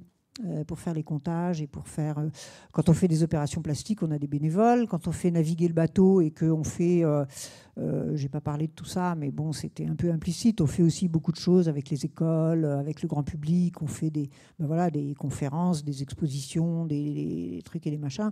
Ben là, on a des bénévoles évidemment qui, qui nous aident, qui nous aident à monter tout ça, quoi. Et puis on fait des mobilisations. alors sur l'océan, on on ne l'a pas fait, je dis ça de mémoire, mais non, j'ai pas souvenir qu'on ait par exemple fait des manifs, on l'a beaucoup fait pour le climat, mais on ne fait pas une manif, nous, WWF, on le fait avec, euh, avec 250 organisations. Euh, euh, et, c'est vrai que, et au niveau européen aussi, au niveau européen, il y a des grosses coalitions européennes d'organisations. Là, quand on a, on, continue, on travaille beaucoup sur la forêt en ce moment, on est 120 ONG européennes. Donc c'est colossal. On a une puissance de frappe du coup énorme, quoi. Et, on est écouté par la Commission, parce qu'on représente, euh, on représente des millions de citoyens. Quoi. Donc, euh, donc au bout d'un moment, euh, quand on arrive avec une pétition qui a été signée par 5 millions d'Européens, voilà, je dis pas qu'ils vont dire oui à tout ce qu'on demande, mais quand même, on, est, on est quand même vraiment écouté. Quoi. Donc je pense que...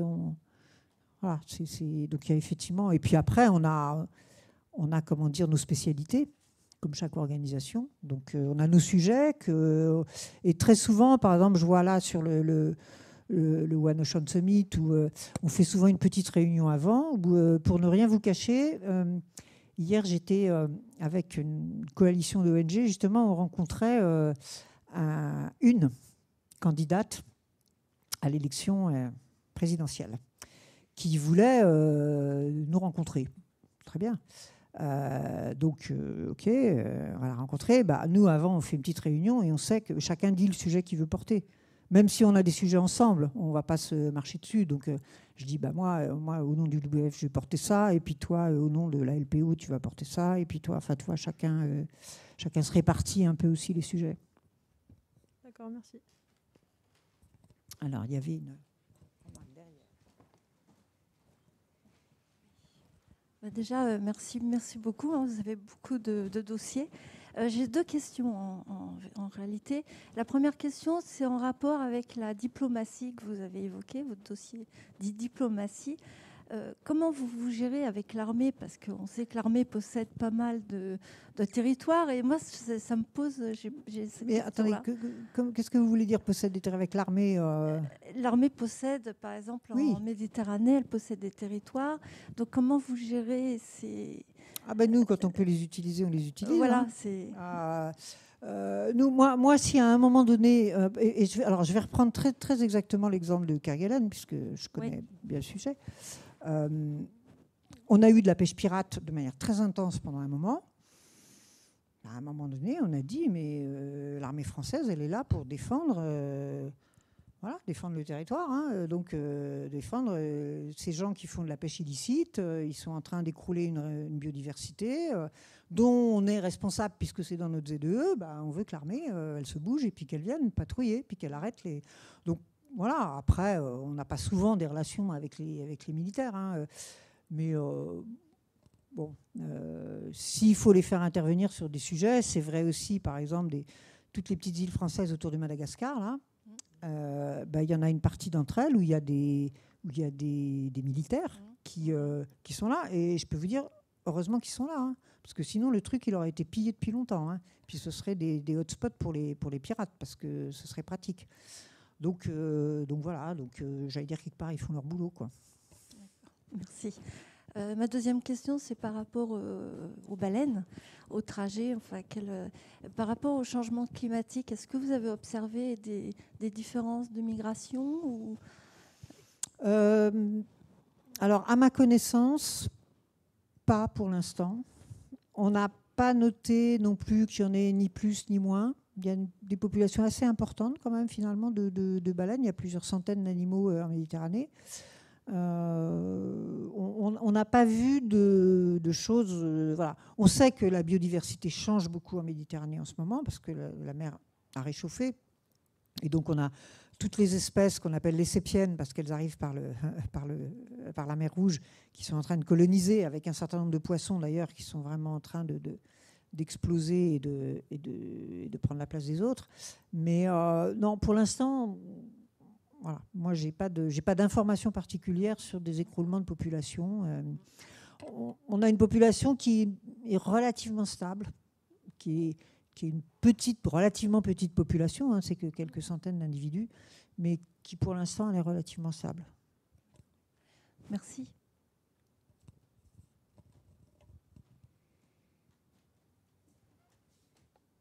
Alors,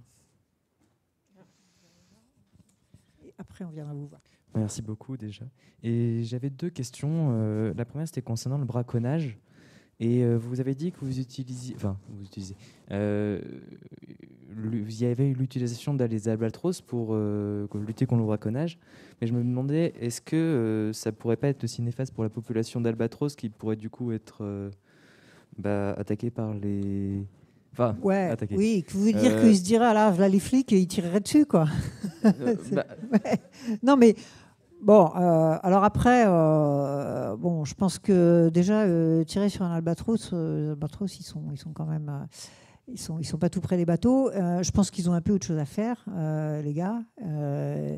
et que pour l'instant, en plus, pour l'instant, honnêtement, il y a très peu d'oiseaux équipés par rapport au nombre d'albatros qu'il y a donc, euh, s'il voulait, euh, vraiment se défaire des oiseaux, euh, il faudrait qu'il bousille tous les albatros, quoi. Parce que, donc non, je pense que, je pense que pour l'instant, pour l'instant, c'est pas trop le, heureusement pas trop le danger. Mais vous avez raison, il faut peut-être quand même faire attention. Et j'avais une, seconde question, c'était quel parcours serait idéal pour protéger bah, du coup notre biodiversité Pour protéger Protéger la biodiversité, faire travailler par exemple avec WWF, Greenpeace, tout ça. Quel parcours scolaire, ah, études, scolaire. études, enfin. Ah ben nous, nous on est vraiment tout azimut parce qu'on a besoin de. on a quand même globalement, la population des gens qui travaillent au WWF aujourd'hui, ils ont entre 25 et 40 ans. Ils sont bac plus 5, euh, mais dans des domaines très différents. C'est-à-dire qu'il y, euh, il y, a des gens qui sont plus euh, des biologistes ou des spécialistes de l'eau douce ou des spécialistes de la forêt, donc qui sont plus du côté de la science. il y a des gens qui sont plus des gens qui ont eu un parcours dans les entreprises et qu'on va envoyer au feu pour aller convaincre les entreprises de faire autrement et aller voir les banquiers, etc. et puis on a, comme toutes, toutes, les organisations, on a des communicants, on a des, parce que quand on fait des mobilisations, on a des gens qui sont des spécialistes de la communication sur Internet parce qu'il euh, faut qu'on porte nos messages. Donc on a, quand même une très grande variété de gens. Euh, et, en gros, voilà, ouais, en gros, on recrute euh, souvent soit des gens qui sont en début de carrière et puis qui vont un peu évoluer, soit des gens qui ont déjà eu un parcours, par exemple, qui ont été, qui sont des gens qui sortent de Sciences Po ou qui sortent de grandes écoles de commerce, qui ont travaillé 3-4 ans dans une entreprise euh, lambda et puis qui trouvent que ça n'a pas beaucoup de sens de vendre des chaussettes euh, et qui, euh, à un moment donné, parce que nous, on a des besoins, se disent ça vaut le coup d'être payé peut-être 30% de moins, mais de faire un truc qui, me, qui me mange plus. Quoi, qui me, donc, donc on a ce, genre de, ce genre de parcours. Mais c'est vrai que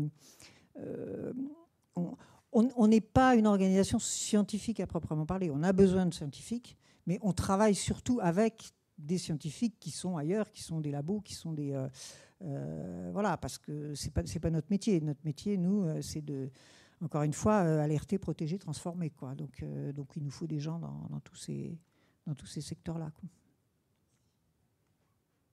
Alors, il y avait... Oui, moi j'avais plus une question d'ordre. Parlez bien près du micro pour que tout le monde vous entende.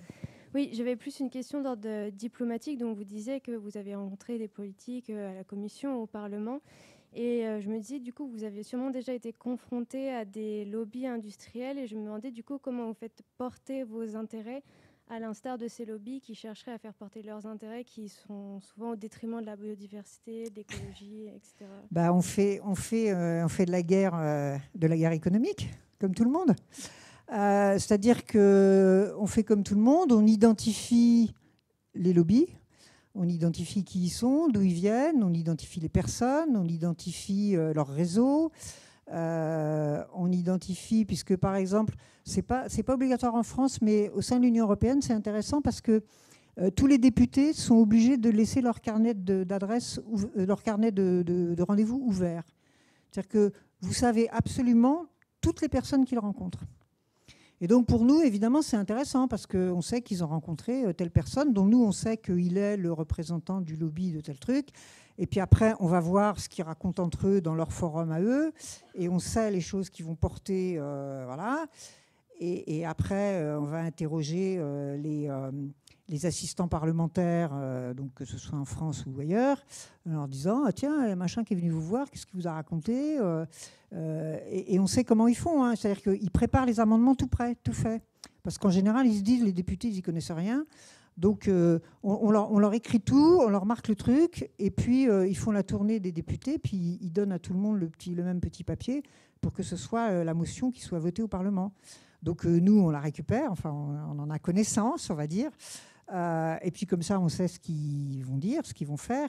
Euh, et puis nous, de notre côté, euh, on, fait, on fait un peu la même chose. On arrive avec nos études scientifiques, on arrive avec nos propositions. Alors nous, on n'écrit pas, pas les textes, mais on arrive avec nos propositions et, et, on fait la même chose. On rencontre, on rencontre des centaines de personnes pour, voilà, pour, pour vraiment porter la bonne parole. Parce que c'est toujours compliqué. Euh, imaginez que vous, vous soyez député, que ce soit en France ou au niveau européen. Vous savez des choses, mais vous ne savez pas tout, et vous allez être obligé de légiférer sur tout.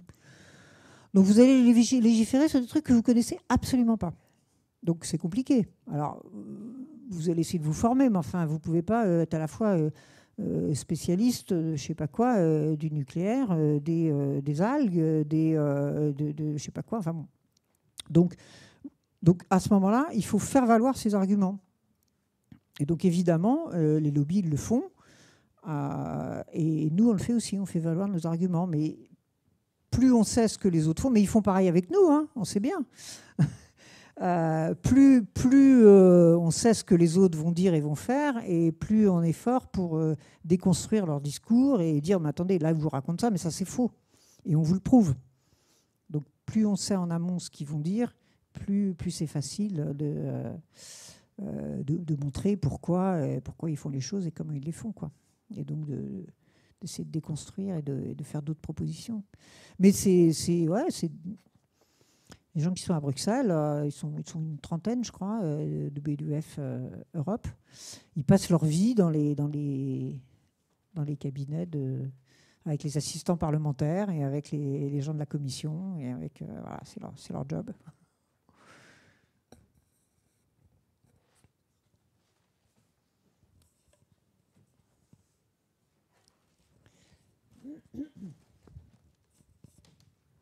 Bonjour, je vous parle euh, en tant que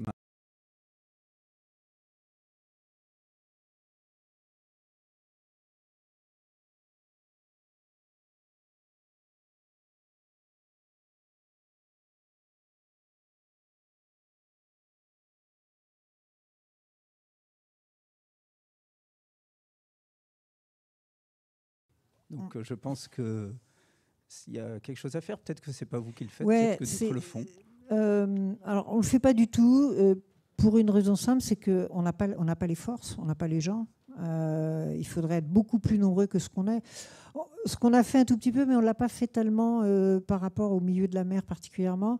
on avait inventé, il y a quelques années, on avait inventé des petits jeux sur le carbone pour les enfants. Mais ce n'est pas nous qui pouvions aller faire la tournée de, toutes les écoles de français de Navarre. Donc on avait donné ces, jeux à soit des associations qui vont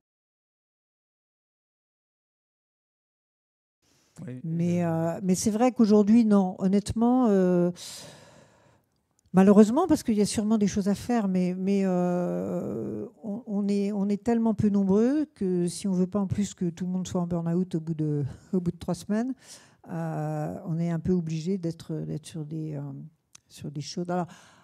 Par, par détour, par exemple, je disais en Méditerranée, quand on travaille sur la petite pêche méditerranéenne et qu'on travaille avec les professionnels, c'est sûr que du coup, on est avec eux sur les bateaux, on parle avec eux et il y a une forme d'échange et de formation. Vous parliez de vitesse des mm. navires, par exemple. Les navires de commerce avancent vite, c'est vrai. Il y a, des, collisions avec des mammifères. Les, navires à voile, vous en avez fait aussi pas mal. Et c'est vrai qu'aujourd'hui, il se pose des questions avec les, avec les navires à foil, par exemple. Euh, c'est une vraie question. C'est un vrai problème parce que plus ça va vite, plus ça fait mal. Mais euh, moi, ça m'est arrivé hein, avec mon bateau de course. Euh, je suis rentrée dans une baleine où la baleine m'est rentrée dedans, je sais pas, mais on a eu peur toutes les deux. Euh, on a eu Bobo toutes les deux. elle, elle a l'air de s'en être mis. Moi, j'ai quand même arraché, elle m'a quand même arraché un safran, donc c'était quand même un peu chaud. mais oui, il y, a un souci. alors moi, j'avais beaucoup essayé de travailler là-dessus. C'est compliqué parce que la seule chose qu'on peut faire, c'est un signal sonore. Et euh, selon les espèces, selon les âges, selon les lieux, etc., etc., elles n'entendent pas la même chose. Donc euh, déjà, il faudrait que ça parle baleine, mais plusieurs langages de baleine. Euh, et en plus, bah, ça peut quand même être aussi un peu perturbant, parce que si je veux qu'elle m'entende de loin, je suis obligé de faire un bruit sous-marin fort, et donc ça ne va pas forcément être bien non plus.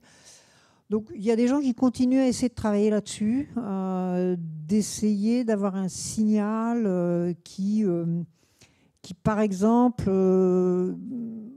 dans certains endroits où on sait qu'il y a des, des, concentrations plus fortes, serait parce que les baleines entre elles, elles ont un signal de, ben, faut, il faut partir, quoi. Enfin, un signal de détresse, pas de détresse, mais de voilà.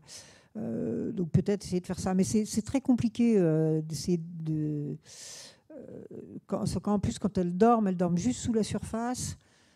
Vous ne faites pas de bruit avec un bateau à voile, vous arrivez très vite. Euh, c'est pas un sujet facile. Mais il y a des gens, il y a des coureurs qui continuent, euh, bah, avec des gens de, justement des labos, qui continuent à essayer de travailler là-dessus. Ok, merci. Je veux savoir, euh, au niveau des. Comment vous. Est-ce que vous utilisez le, pouvoir des, centrales d'achat euh, pour, pour qu'elles orientent leurs achats vers des pêches durables ou, euh, ou plus respectueuses de, de- de les ressources. Quoi? Ouais. Et si oui, si- comment vous le faites? Ouais, on essaye pas mal de faire ça. Alors, on ne travaille pas avec tout le monde, mais euh, par exemple, historiquement, je ne sais pas pourquoi, c'était même avant que je sois là. Histori- Historiquement, on travaille avec Carrefour. Donc, euh, on, les a beaucoup euh, challengés, bah, par exemple, sur l'histoire du thon. euh, on les a beaucoup là, on les a après, on les a beaucoup challengés sur la, forêt durable, donc la provenance des bois et des objets en bois qui. sur, aussi sur les questions agricoles et alimentaires. On, les a pas mal poussés sur les questions agricoles à euh, évidemment aller sur le bio, mais euh, aller sur la sécurisation des producteurs. C'est-à-dire, sur ces produits-là, arrêter de sortir de. en général, c'est assez euh, dramatique, hein, les discussions entre les grandes centrales d'achat et les producteurs.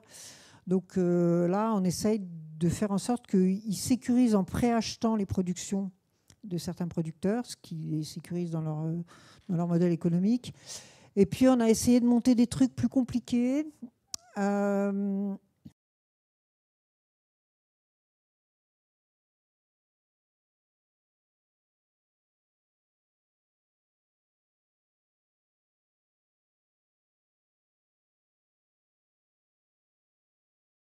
Riz avec du soja qui vient du Pantanal et qu'on a coupé la forêt pour, euh, euh, pour faire des productions de soja. Donc on a essayé avec un certain nombre de grands acheteurs européens de monter un fonds monétaire qui va rémunérer les, les gens qui possèdent des forêts et qui ne les coupent pas. Ça, ça- s'appelle rémunérer le- le service rendu par la nature, c'est-à-dire que euh, on leur demande aux, acheteurs ici de mettre de l'argent euh, sans contrepartie puisqu'ils n'achètent rien. Euh, et cet argent va servir à, à payer le fait qu'on ne détruise pas la forêt. Voilà. Donc c'est des systèmes sur lesquels on essaye de travailler un peu. C'est pas facile, hein, c'est pas facile à monter.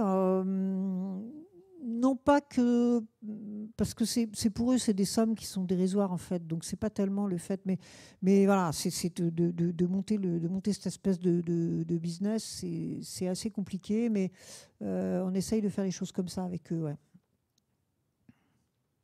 Et puis évidemment sur l'empreinte carbone, euh, ça ça passe par tout un tas d'autres choses sur euh, sur le transport des marchandises, sur les approvisionnements, sur les conditionnements, le zéro plastique. euh, euh, on avait essayé de monter le magasin zéro plastique.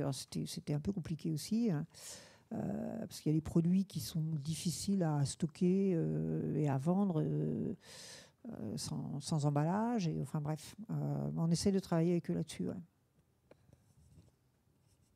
Bonsoir et merci. Vous parliez tout à l'heure de l'inquiétante pollution des plastiques. Est-ce qu'il y a un dialogue pour faire barrage aux grandes méga déchetteries qu'on peut voir, comme en Martinique par exemple, ou ailleurs Moi j'ai vu celle de la Martinique, c'est quand même inquiétant. Ben, euh, normalement, ça, c'est de, la, c'est de la responsabilité des États, hein, des États ou des collectivités euh, qui sont responsables de la gestion des ordures.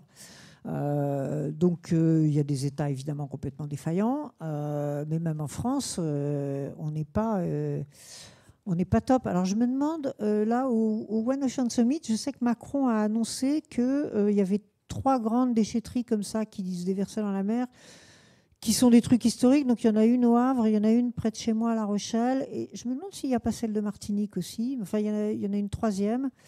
euh, où là, euh, l'État a décidé de mettre les, euh, les 40 millions qu'il faut, parce qu'il faut des, dizaines de millions hein, pour nettoyer ces trucs-là. Ça ne se fait pas comme ça. Et je sais que là, il a annoncé que, ce qui est quelque part la moindre des choses. hein.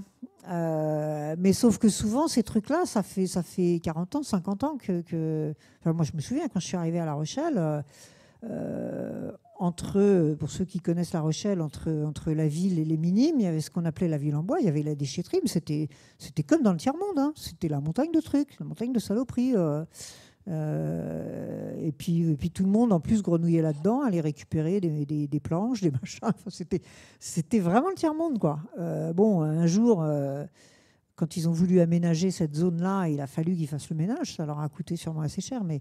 Donc là, je pense que c'est beaucoup de la mobilisation citoyenne locale qui peut faire pression pour que, bah, pour que on mette l'argent là-dessus. Quoi. Mais c'est vrai que c'est vrai qu'il faut le mettre, mais c'est vrai que ça coûte cher. Parce qu'une fois que les trucs sont là, il faut des, camions et des camions, et puis il faut savoir quoi en faire. Et, je, je, crois qu'à La Rochelle, il y a encore des silos qui sont pleins euh, de boue de l'Erika. C'est-à-dire qu'on ne sait toujours pas quoi en faire. Quoi. On a été ramasser euh, les boulettes de pétrole et les machins. On les a entassés quelque part dans des espèces de, gigantesques silos. Puis maintenant, euh, maintenant c'est là. Et avant d'en faire quelque chose, bah, il y a quelqu'un qui aura peut-être une bonne idée un jour, mais, mais on ne peut pas le brûler, c'est trop dégueulasse. on ne peut rien en faire. Donc, euh, donc euh, des fois, c'est compliqué, hein, l'évacuation des déchets. Mais vous avez raison, ça fait évidemment partie de, des choses qu'il faut, euh, sur lesquelles il faut se battre. Bonjour, merci. Levez la main. Ah oui, vous êtes là-bas. Je vous avais pas vu. J'avais une question. dans, les, dans les supermarchés, la plupart du temps, les, les produits bio sont emballés euh, dans du plastique, euh, surtout les légumes. Euh, Alors ça vient de finir là, hein. si vous avez vu. Il y a maintenant il y a une petite étiquette parce que le problème, ça, ça, vient d'être interdit. Alors pas tout à fait sur tous les fruits et tous les légumes, c'est un peu compliqué la réglementation. Je sais plus quoi. Il y a les genre il y a les pommes et pas les poires, mais enfin bon bref. Enfin on est sur le chemin, mais bon. Donc là maintenant, parce que leur problème, ce que disaient les, les distributeurs, c'est si on n'emballe pas séparément les produits bio, on ne sait plus ce qui est bio et pas bio, et c'est tout mélangé, et il ne faut pas. Donc c'est pour ça qu'on emballe les produits bio. Donc, alors maintenant, vous verrez qu'il y a chaque fruit, il y a une petite étiquette collée dessus, marquée bio. Donc on a progressé quand même, parce que l'étiquette, à mon avis, elle est, je ne sais pas si elle est, est peut-être pas en plastique, mais enfin bon. Donc, donc là, ça, ça vient de changer ça. Mais il y a encore, c'est pas tout à fait tout. Euh, euh, parce qu'il y a, par exemple, euh, il y a des trucs, c'est facile, mais vous prenez les framboises, vous n'allez pas mettre une étiquette sur chaque framboise, quoi. Euh, ou même vous prenez un, je sais pas quoi, un chou Bruxelles, c'est pas très facile non plus. Enfin voilà, il y a des trucs plus faciles que d'autres. Prenez les bananes, les pommes, les poires, c'est assez facile de coller une étiquette, c'est un peu de boulot, mais ça se fait. Il y a des trucs qui sont plus compliqués, mais c'est en cours, c'est en cours. Alors, Question devant. Ah bah, il y a une question derrière, puis après on reviendra devant. Euh, bonsoir, euh, merci hein, pour la conférence. Et, je voulais revenir euh, sur un aspect que vous avez développé, effectivement, de travailler avec des communautés locales et, sur des aspects de réduction, éventuellement, de la consommation de poissons.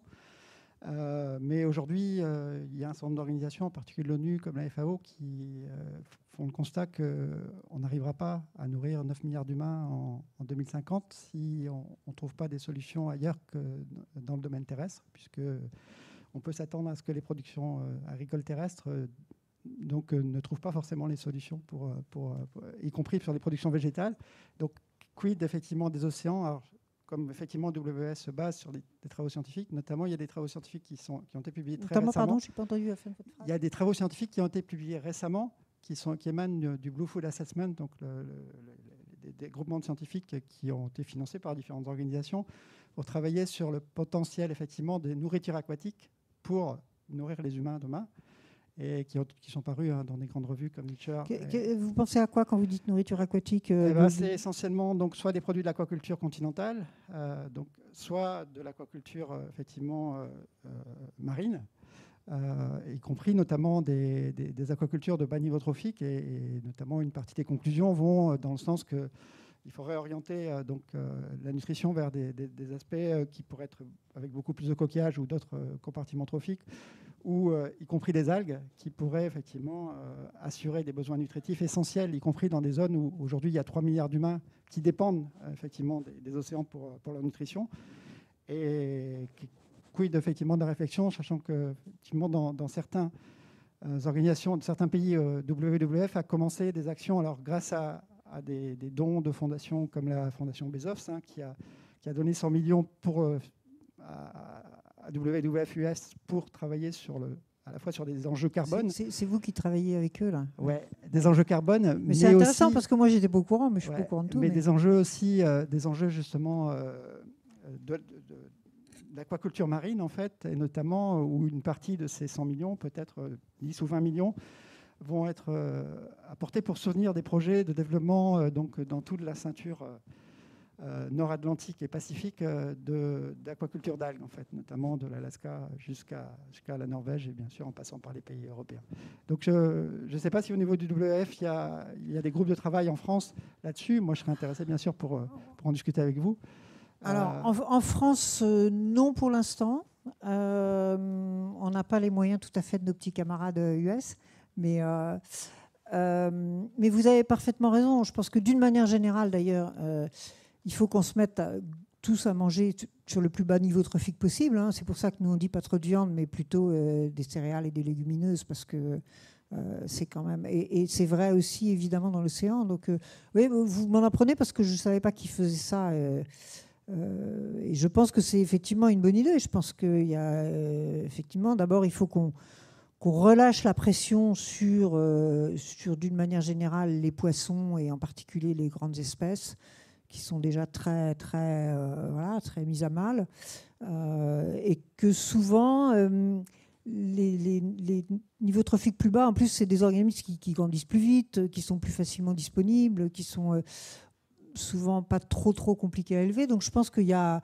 vous avez raison, je pense qu'il y, a une vraie ouverture et, ça fait partie, quand je disais tout à l'heure, nous, on, a aussi vraiment dans l'idée que il faut que ça profite aux populations, bah c'est un peu le cas. Quoi. Si on arrive à faire en sorte que dans une zone, euh, les gens qui commencent à avoir du mal à pêcher parce qu'il n'y a plus de poissons ou il n'y a plus de corail, donc il n'y a plus de poissons de corail, si euh, on arrive à leur dire, bah, on va laisser le corail tranquille et les poissons de corail tranquilles, et puis, euh, mais en échange, vous allez avoir de la nourriture et vous allez pouvoir continuer à vivre ici et, à vous nourrir. Je pense que c'est effectivement une super bonne solution.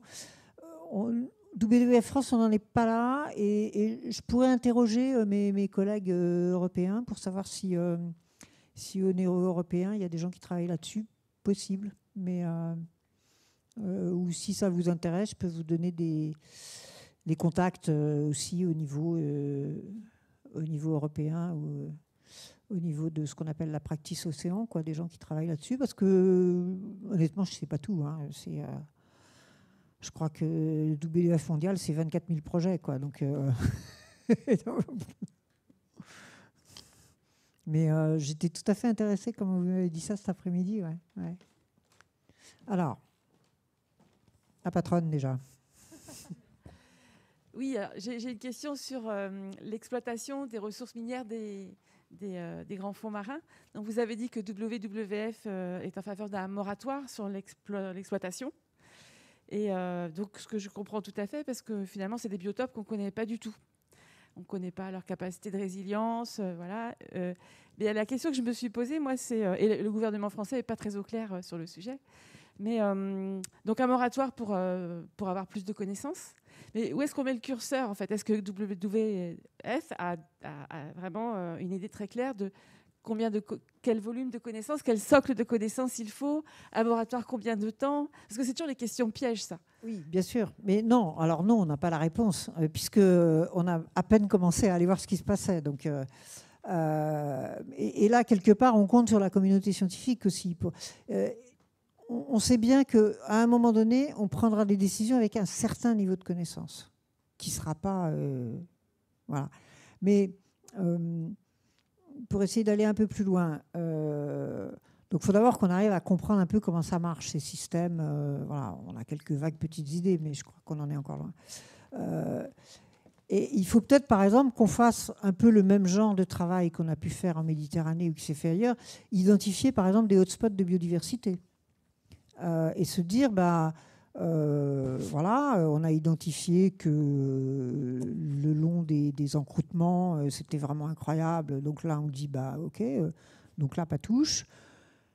Et puis, quand on est allé gratter, regarder ce qui se passait ailleurs, on a vu que peut-être il y avait des endroits où il y a de la vie, parce qu'il y a toujours de la vie partout, mais, mais peut-être qu'on voit que c'est des espèces qui sont assez répandues, assez fréquentes, et que peut-être que là, on peut imaginer que un jour, avec des, des, des méthodes pas trop impactantes, on pourra aller le chercher aller chercher, euh, je sais pas quoi. Euh, nous, on milite quand même beaucoup plus pour aller récupérer dans nos vieux téléphones, euh, les, évidemment, les métaux.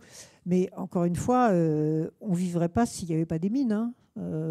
et ça me fait pas plus plaisir qu'à vous. Mais voilà. Donc, ce qu'il faut essayer de faire, c'est d'abord être raisonnable sur nos consommations et la façon dont on, dont, on utilise les ressources de cette planète. Après, on sait qu'on va en utiliser. Donc moi, à, mon sens, c'est de dire, on va, essayer, on compte sur vous pour aller nous identifier les endroits où il faut vraiment pas aller.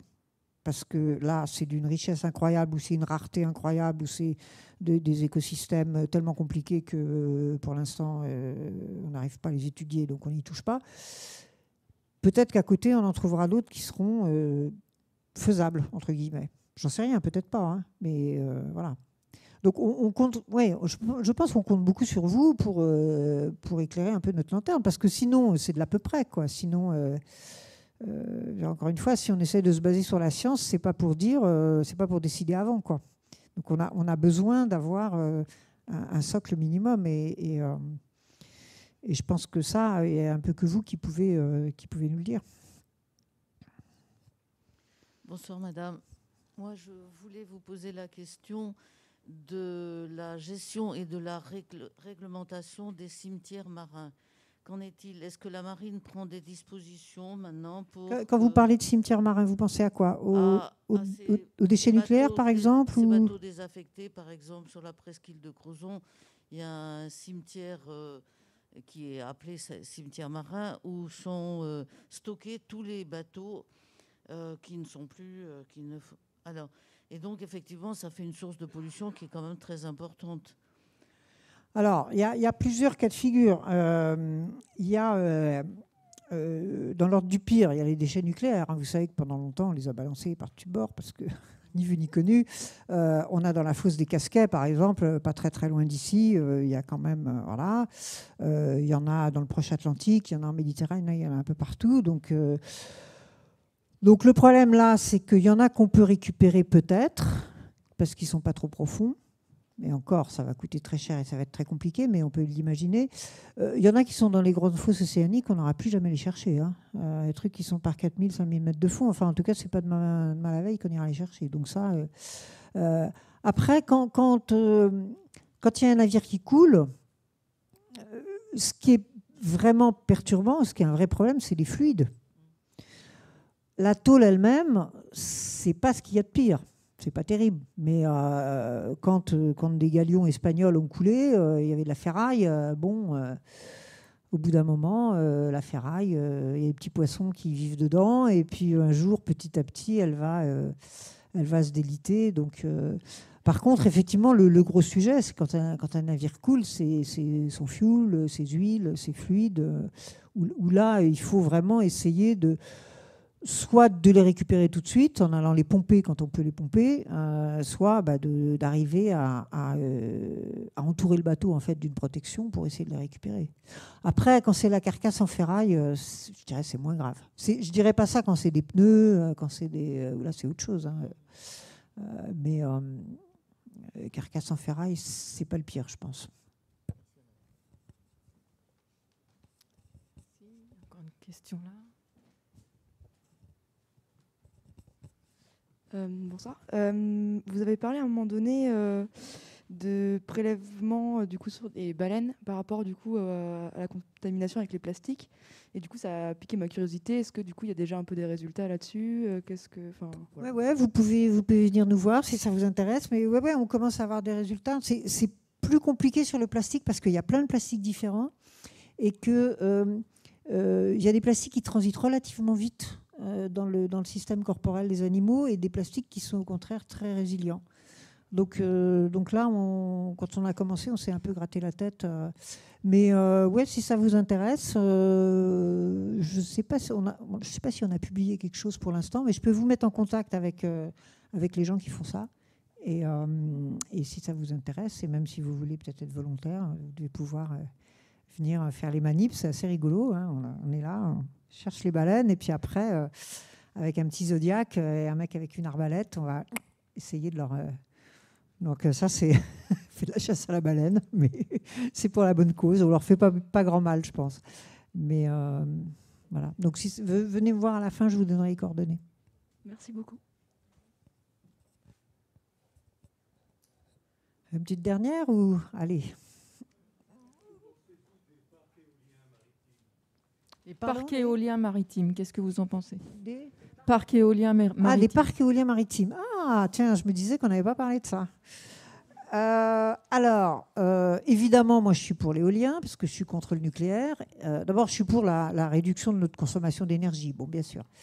après, on a besoin d'énergie. Donc, moi, je ne veux pas de nucléaire, parce que je pense que c'est trop dangereux, qu'on ne sait pas de quoi faire des déchets, et que c'est... Voilà, il y a plein de raisons.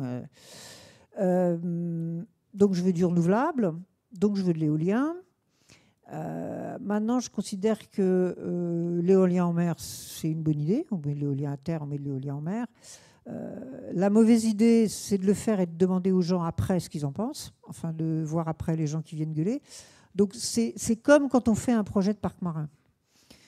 si en amont, on ne discute pas avec les gens, et si même il n'y a pas une implication des populations locales ou des gens dans cette construction commune qu'on va faire d'une énergie nouvelle ou d'un parc ou d'un truc, euh, bah évidemment, euh, ça se passe mal. Donc euh, moi, je ne suis pas étonnée parce que je vois bien un peu comment qu'il y ait des endroits où ça se passe mal. il faut quand même savoir que toutes les énergies, quelles qu'elles soient, ont un impact. Donc il y a les impacts qu'on peut voir chez nous, il y a les impacts qu'on peut voir dans l'atmosphère quand c'est du, pétrole et que ça fait de, l'effet de serre. Euh, il y a les impacts qu'on ne voit pas parce que ça se passe euh, à l'autre bout de la Terre et qu'on s'en fout parce que c'est pas chez nous, mais que c'est dramatique aussi. Donc je crois qu'il faut prendre ses responsabilités. Quoi. Donc moi je me dis qu'à un moment donné, euh, on doit pouvoir être capable de décider ensemble qu'on est OK pour mettre des éoliennes à tel endroit ou à tel endroit.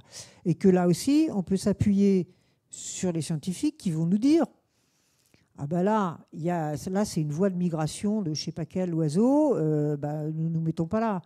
Euh, là par contre, il y a moins d'interférences, de, de, on peut se mettre là. Euh, moi j'ai un tout petit peu été dans la boucle sur le premier parc marin qui, a été, qui est en train de se faire, là, qui est en, dans, le, dans Manchester. Bah, par exemple, le moment le plus impactant en fait des éoliennes marines, celles qui sont posées, hein, c'est quand on bat les pieux, quand on enfonce les pieux.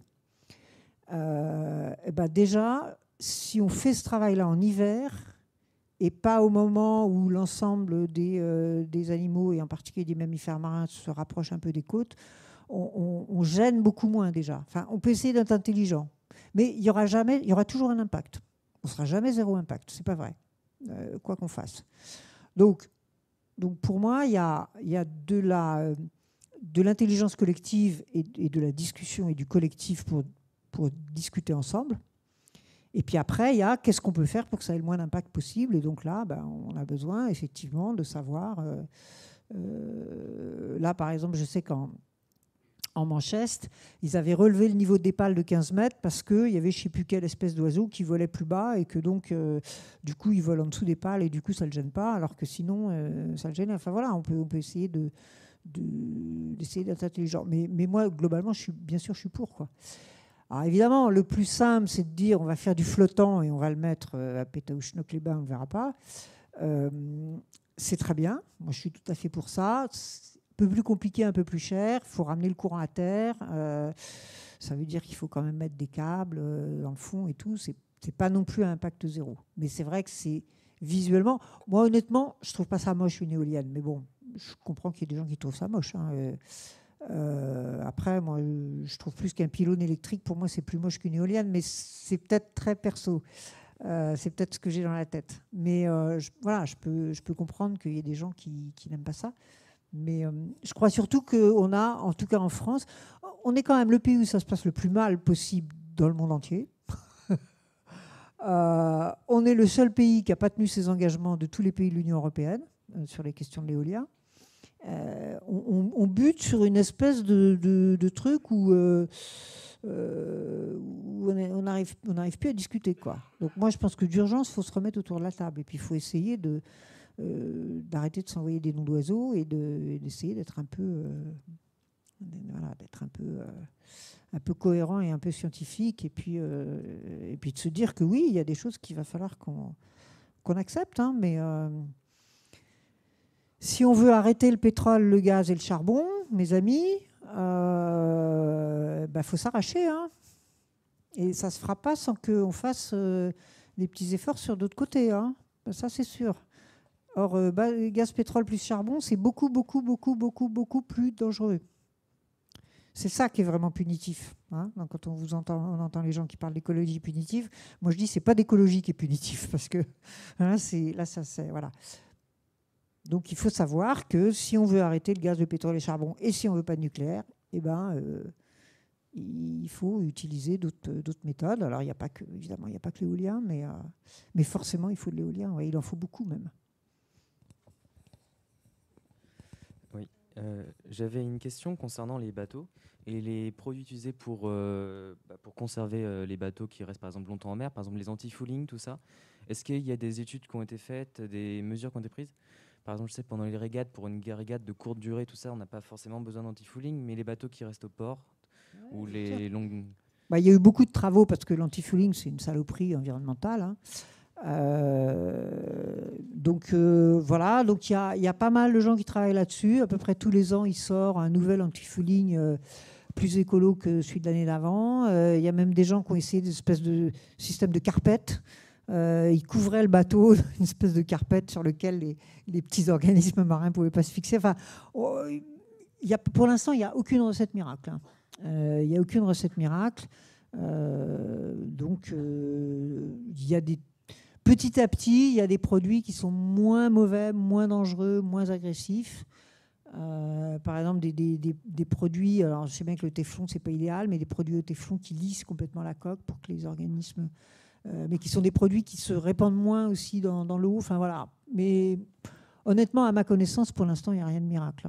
Donc il y a encore du boulot si vous voulez vous y coller. Euh. Ah, Alors, on va traiter. Non, il y, a encore Madame en, orange là-bas qui avait une petite dernière question. On va lui laisser la parole. Non? Ah non, c'est qu'elle se grattait. eh bien, ouais. raison, il est déjà tard. Je pense qu'on va, on va arrêter là. Merci beaucoup. Je pense qu'on peut applaudir encore Isabelle. Merci. Merci à toutes et à tous.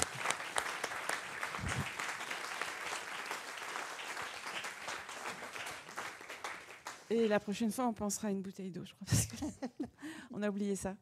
Euh, donc merci, vraiment merci beaucoup. Ça y est, c'est lancé, les 150 ans. Euh, merci à vous tous d'être venus et je voulais en profiter pour annoncer euh, bah, la prochaine conférence grand public le 17 mars. Et ce sera encore une, grande dame, mais dans un registre différent. Donc c'est Catherine Jessu, qui est directrice de recherche au CNRS, biologiste, mais en fait qui viendra nous parler de, la vie du professeur Lacasse Dutier, donc qui est le fondateur de la station biologique de Roscoff en 1872, et, qui d'ailleurs quelques années après est parti ben, plus vers le sud et fondé la station biologique de Banyuls en Méditerranée. Et euh, bah voilà, je vous invite à venir parce que je sais que ça va être euh, une conférence passionnante. Et je pense que ça doit intéresser euh, les locaux de savoir un petit peu la vie de ce fondateur, et puis les locaux et les internes. Le 17 mars, même endroit, même heure. Bonne soirée à tous. Bonne fin de soirée à toutes et à tous.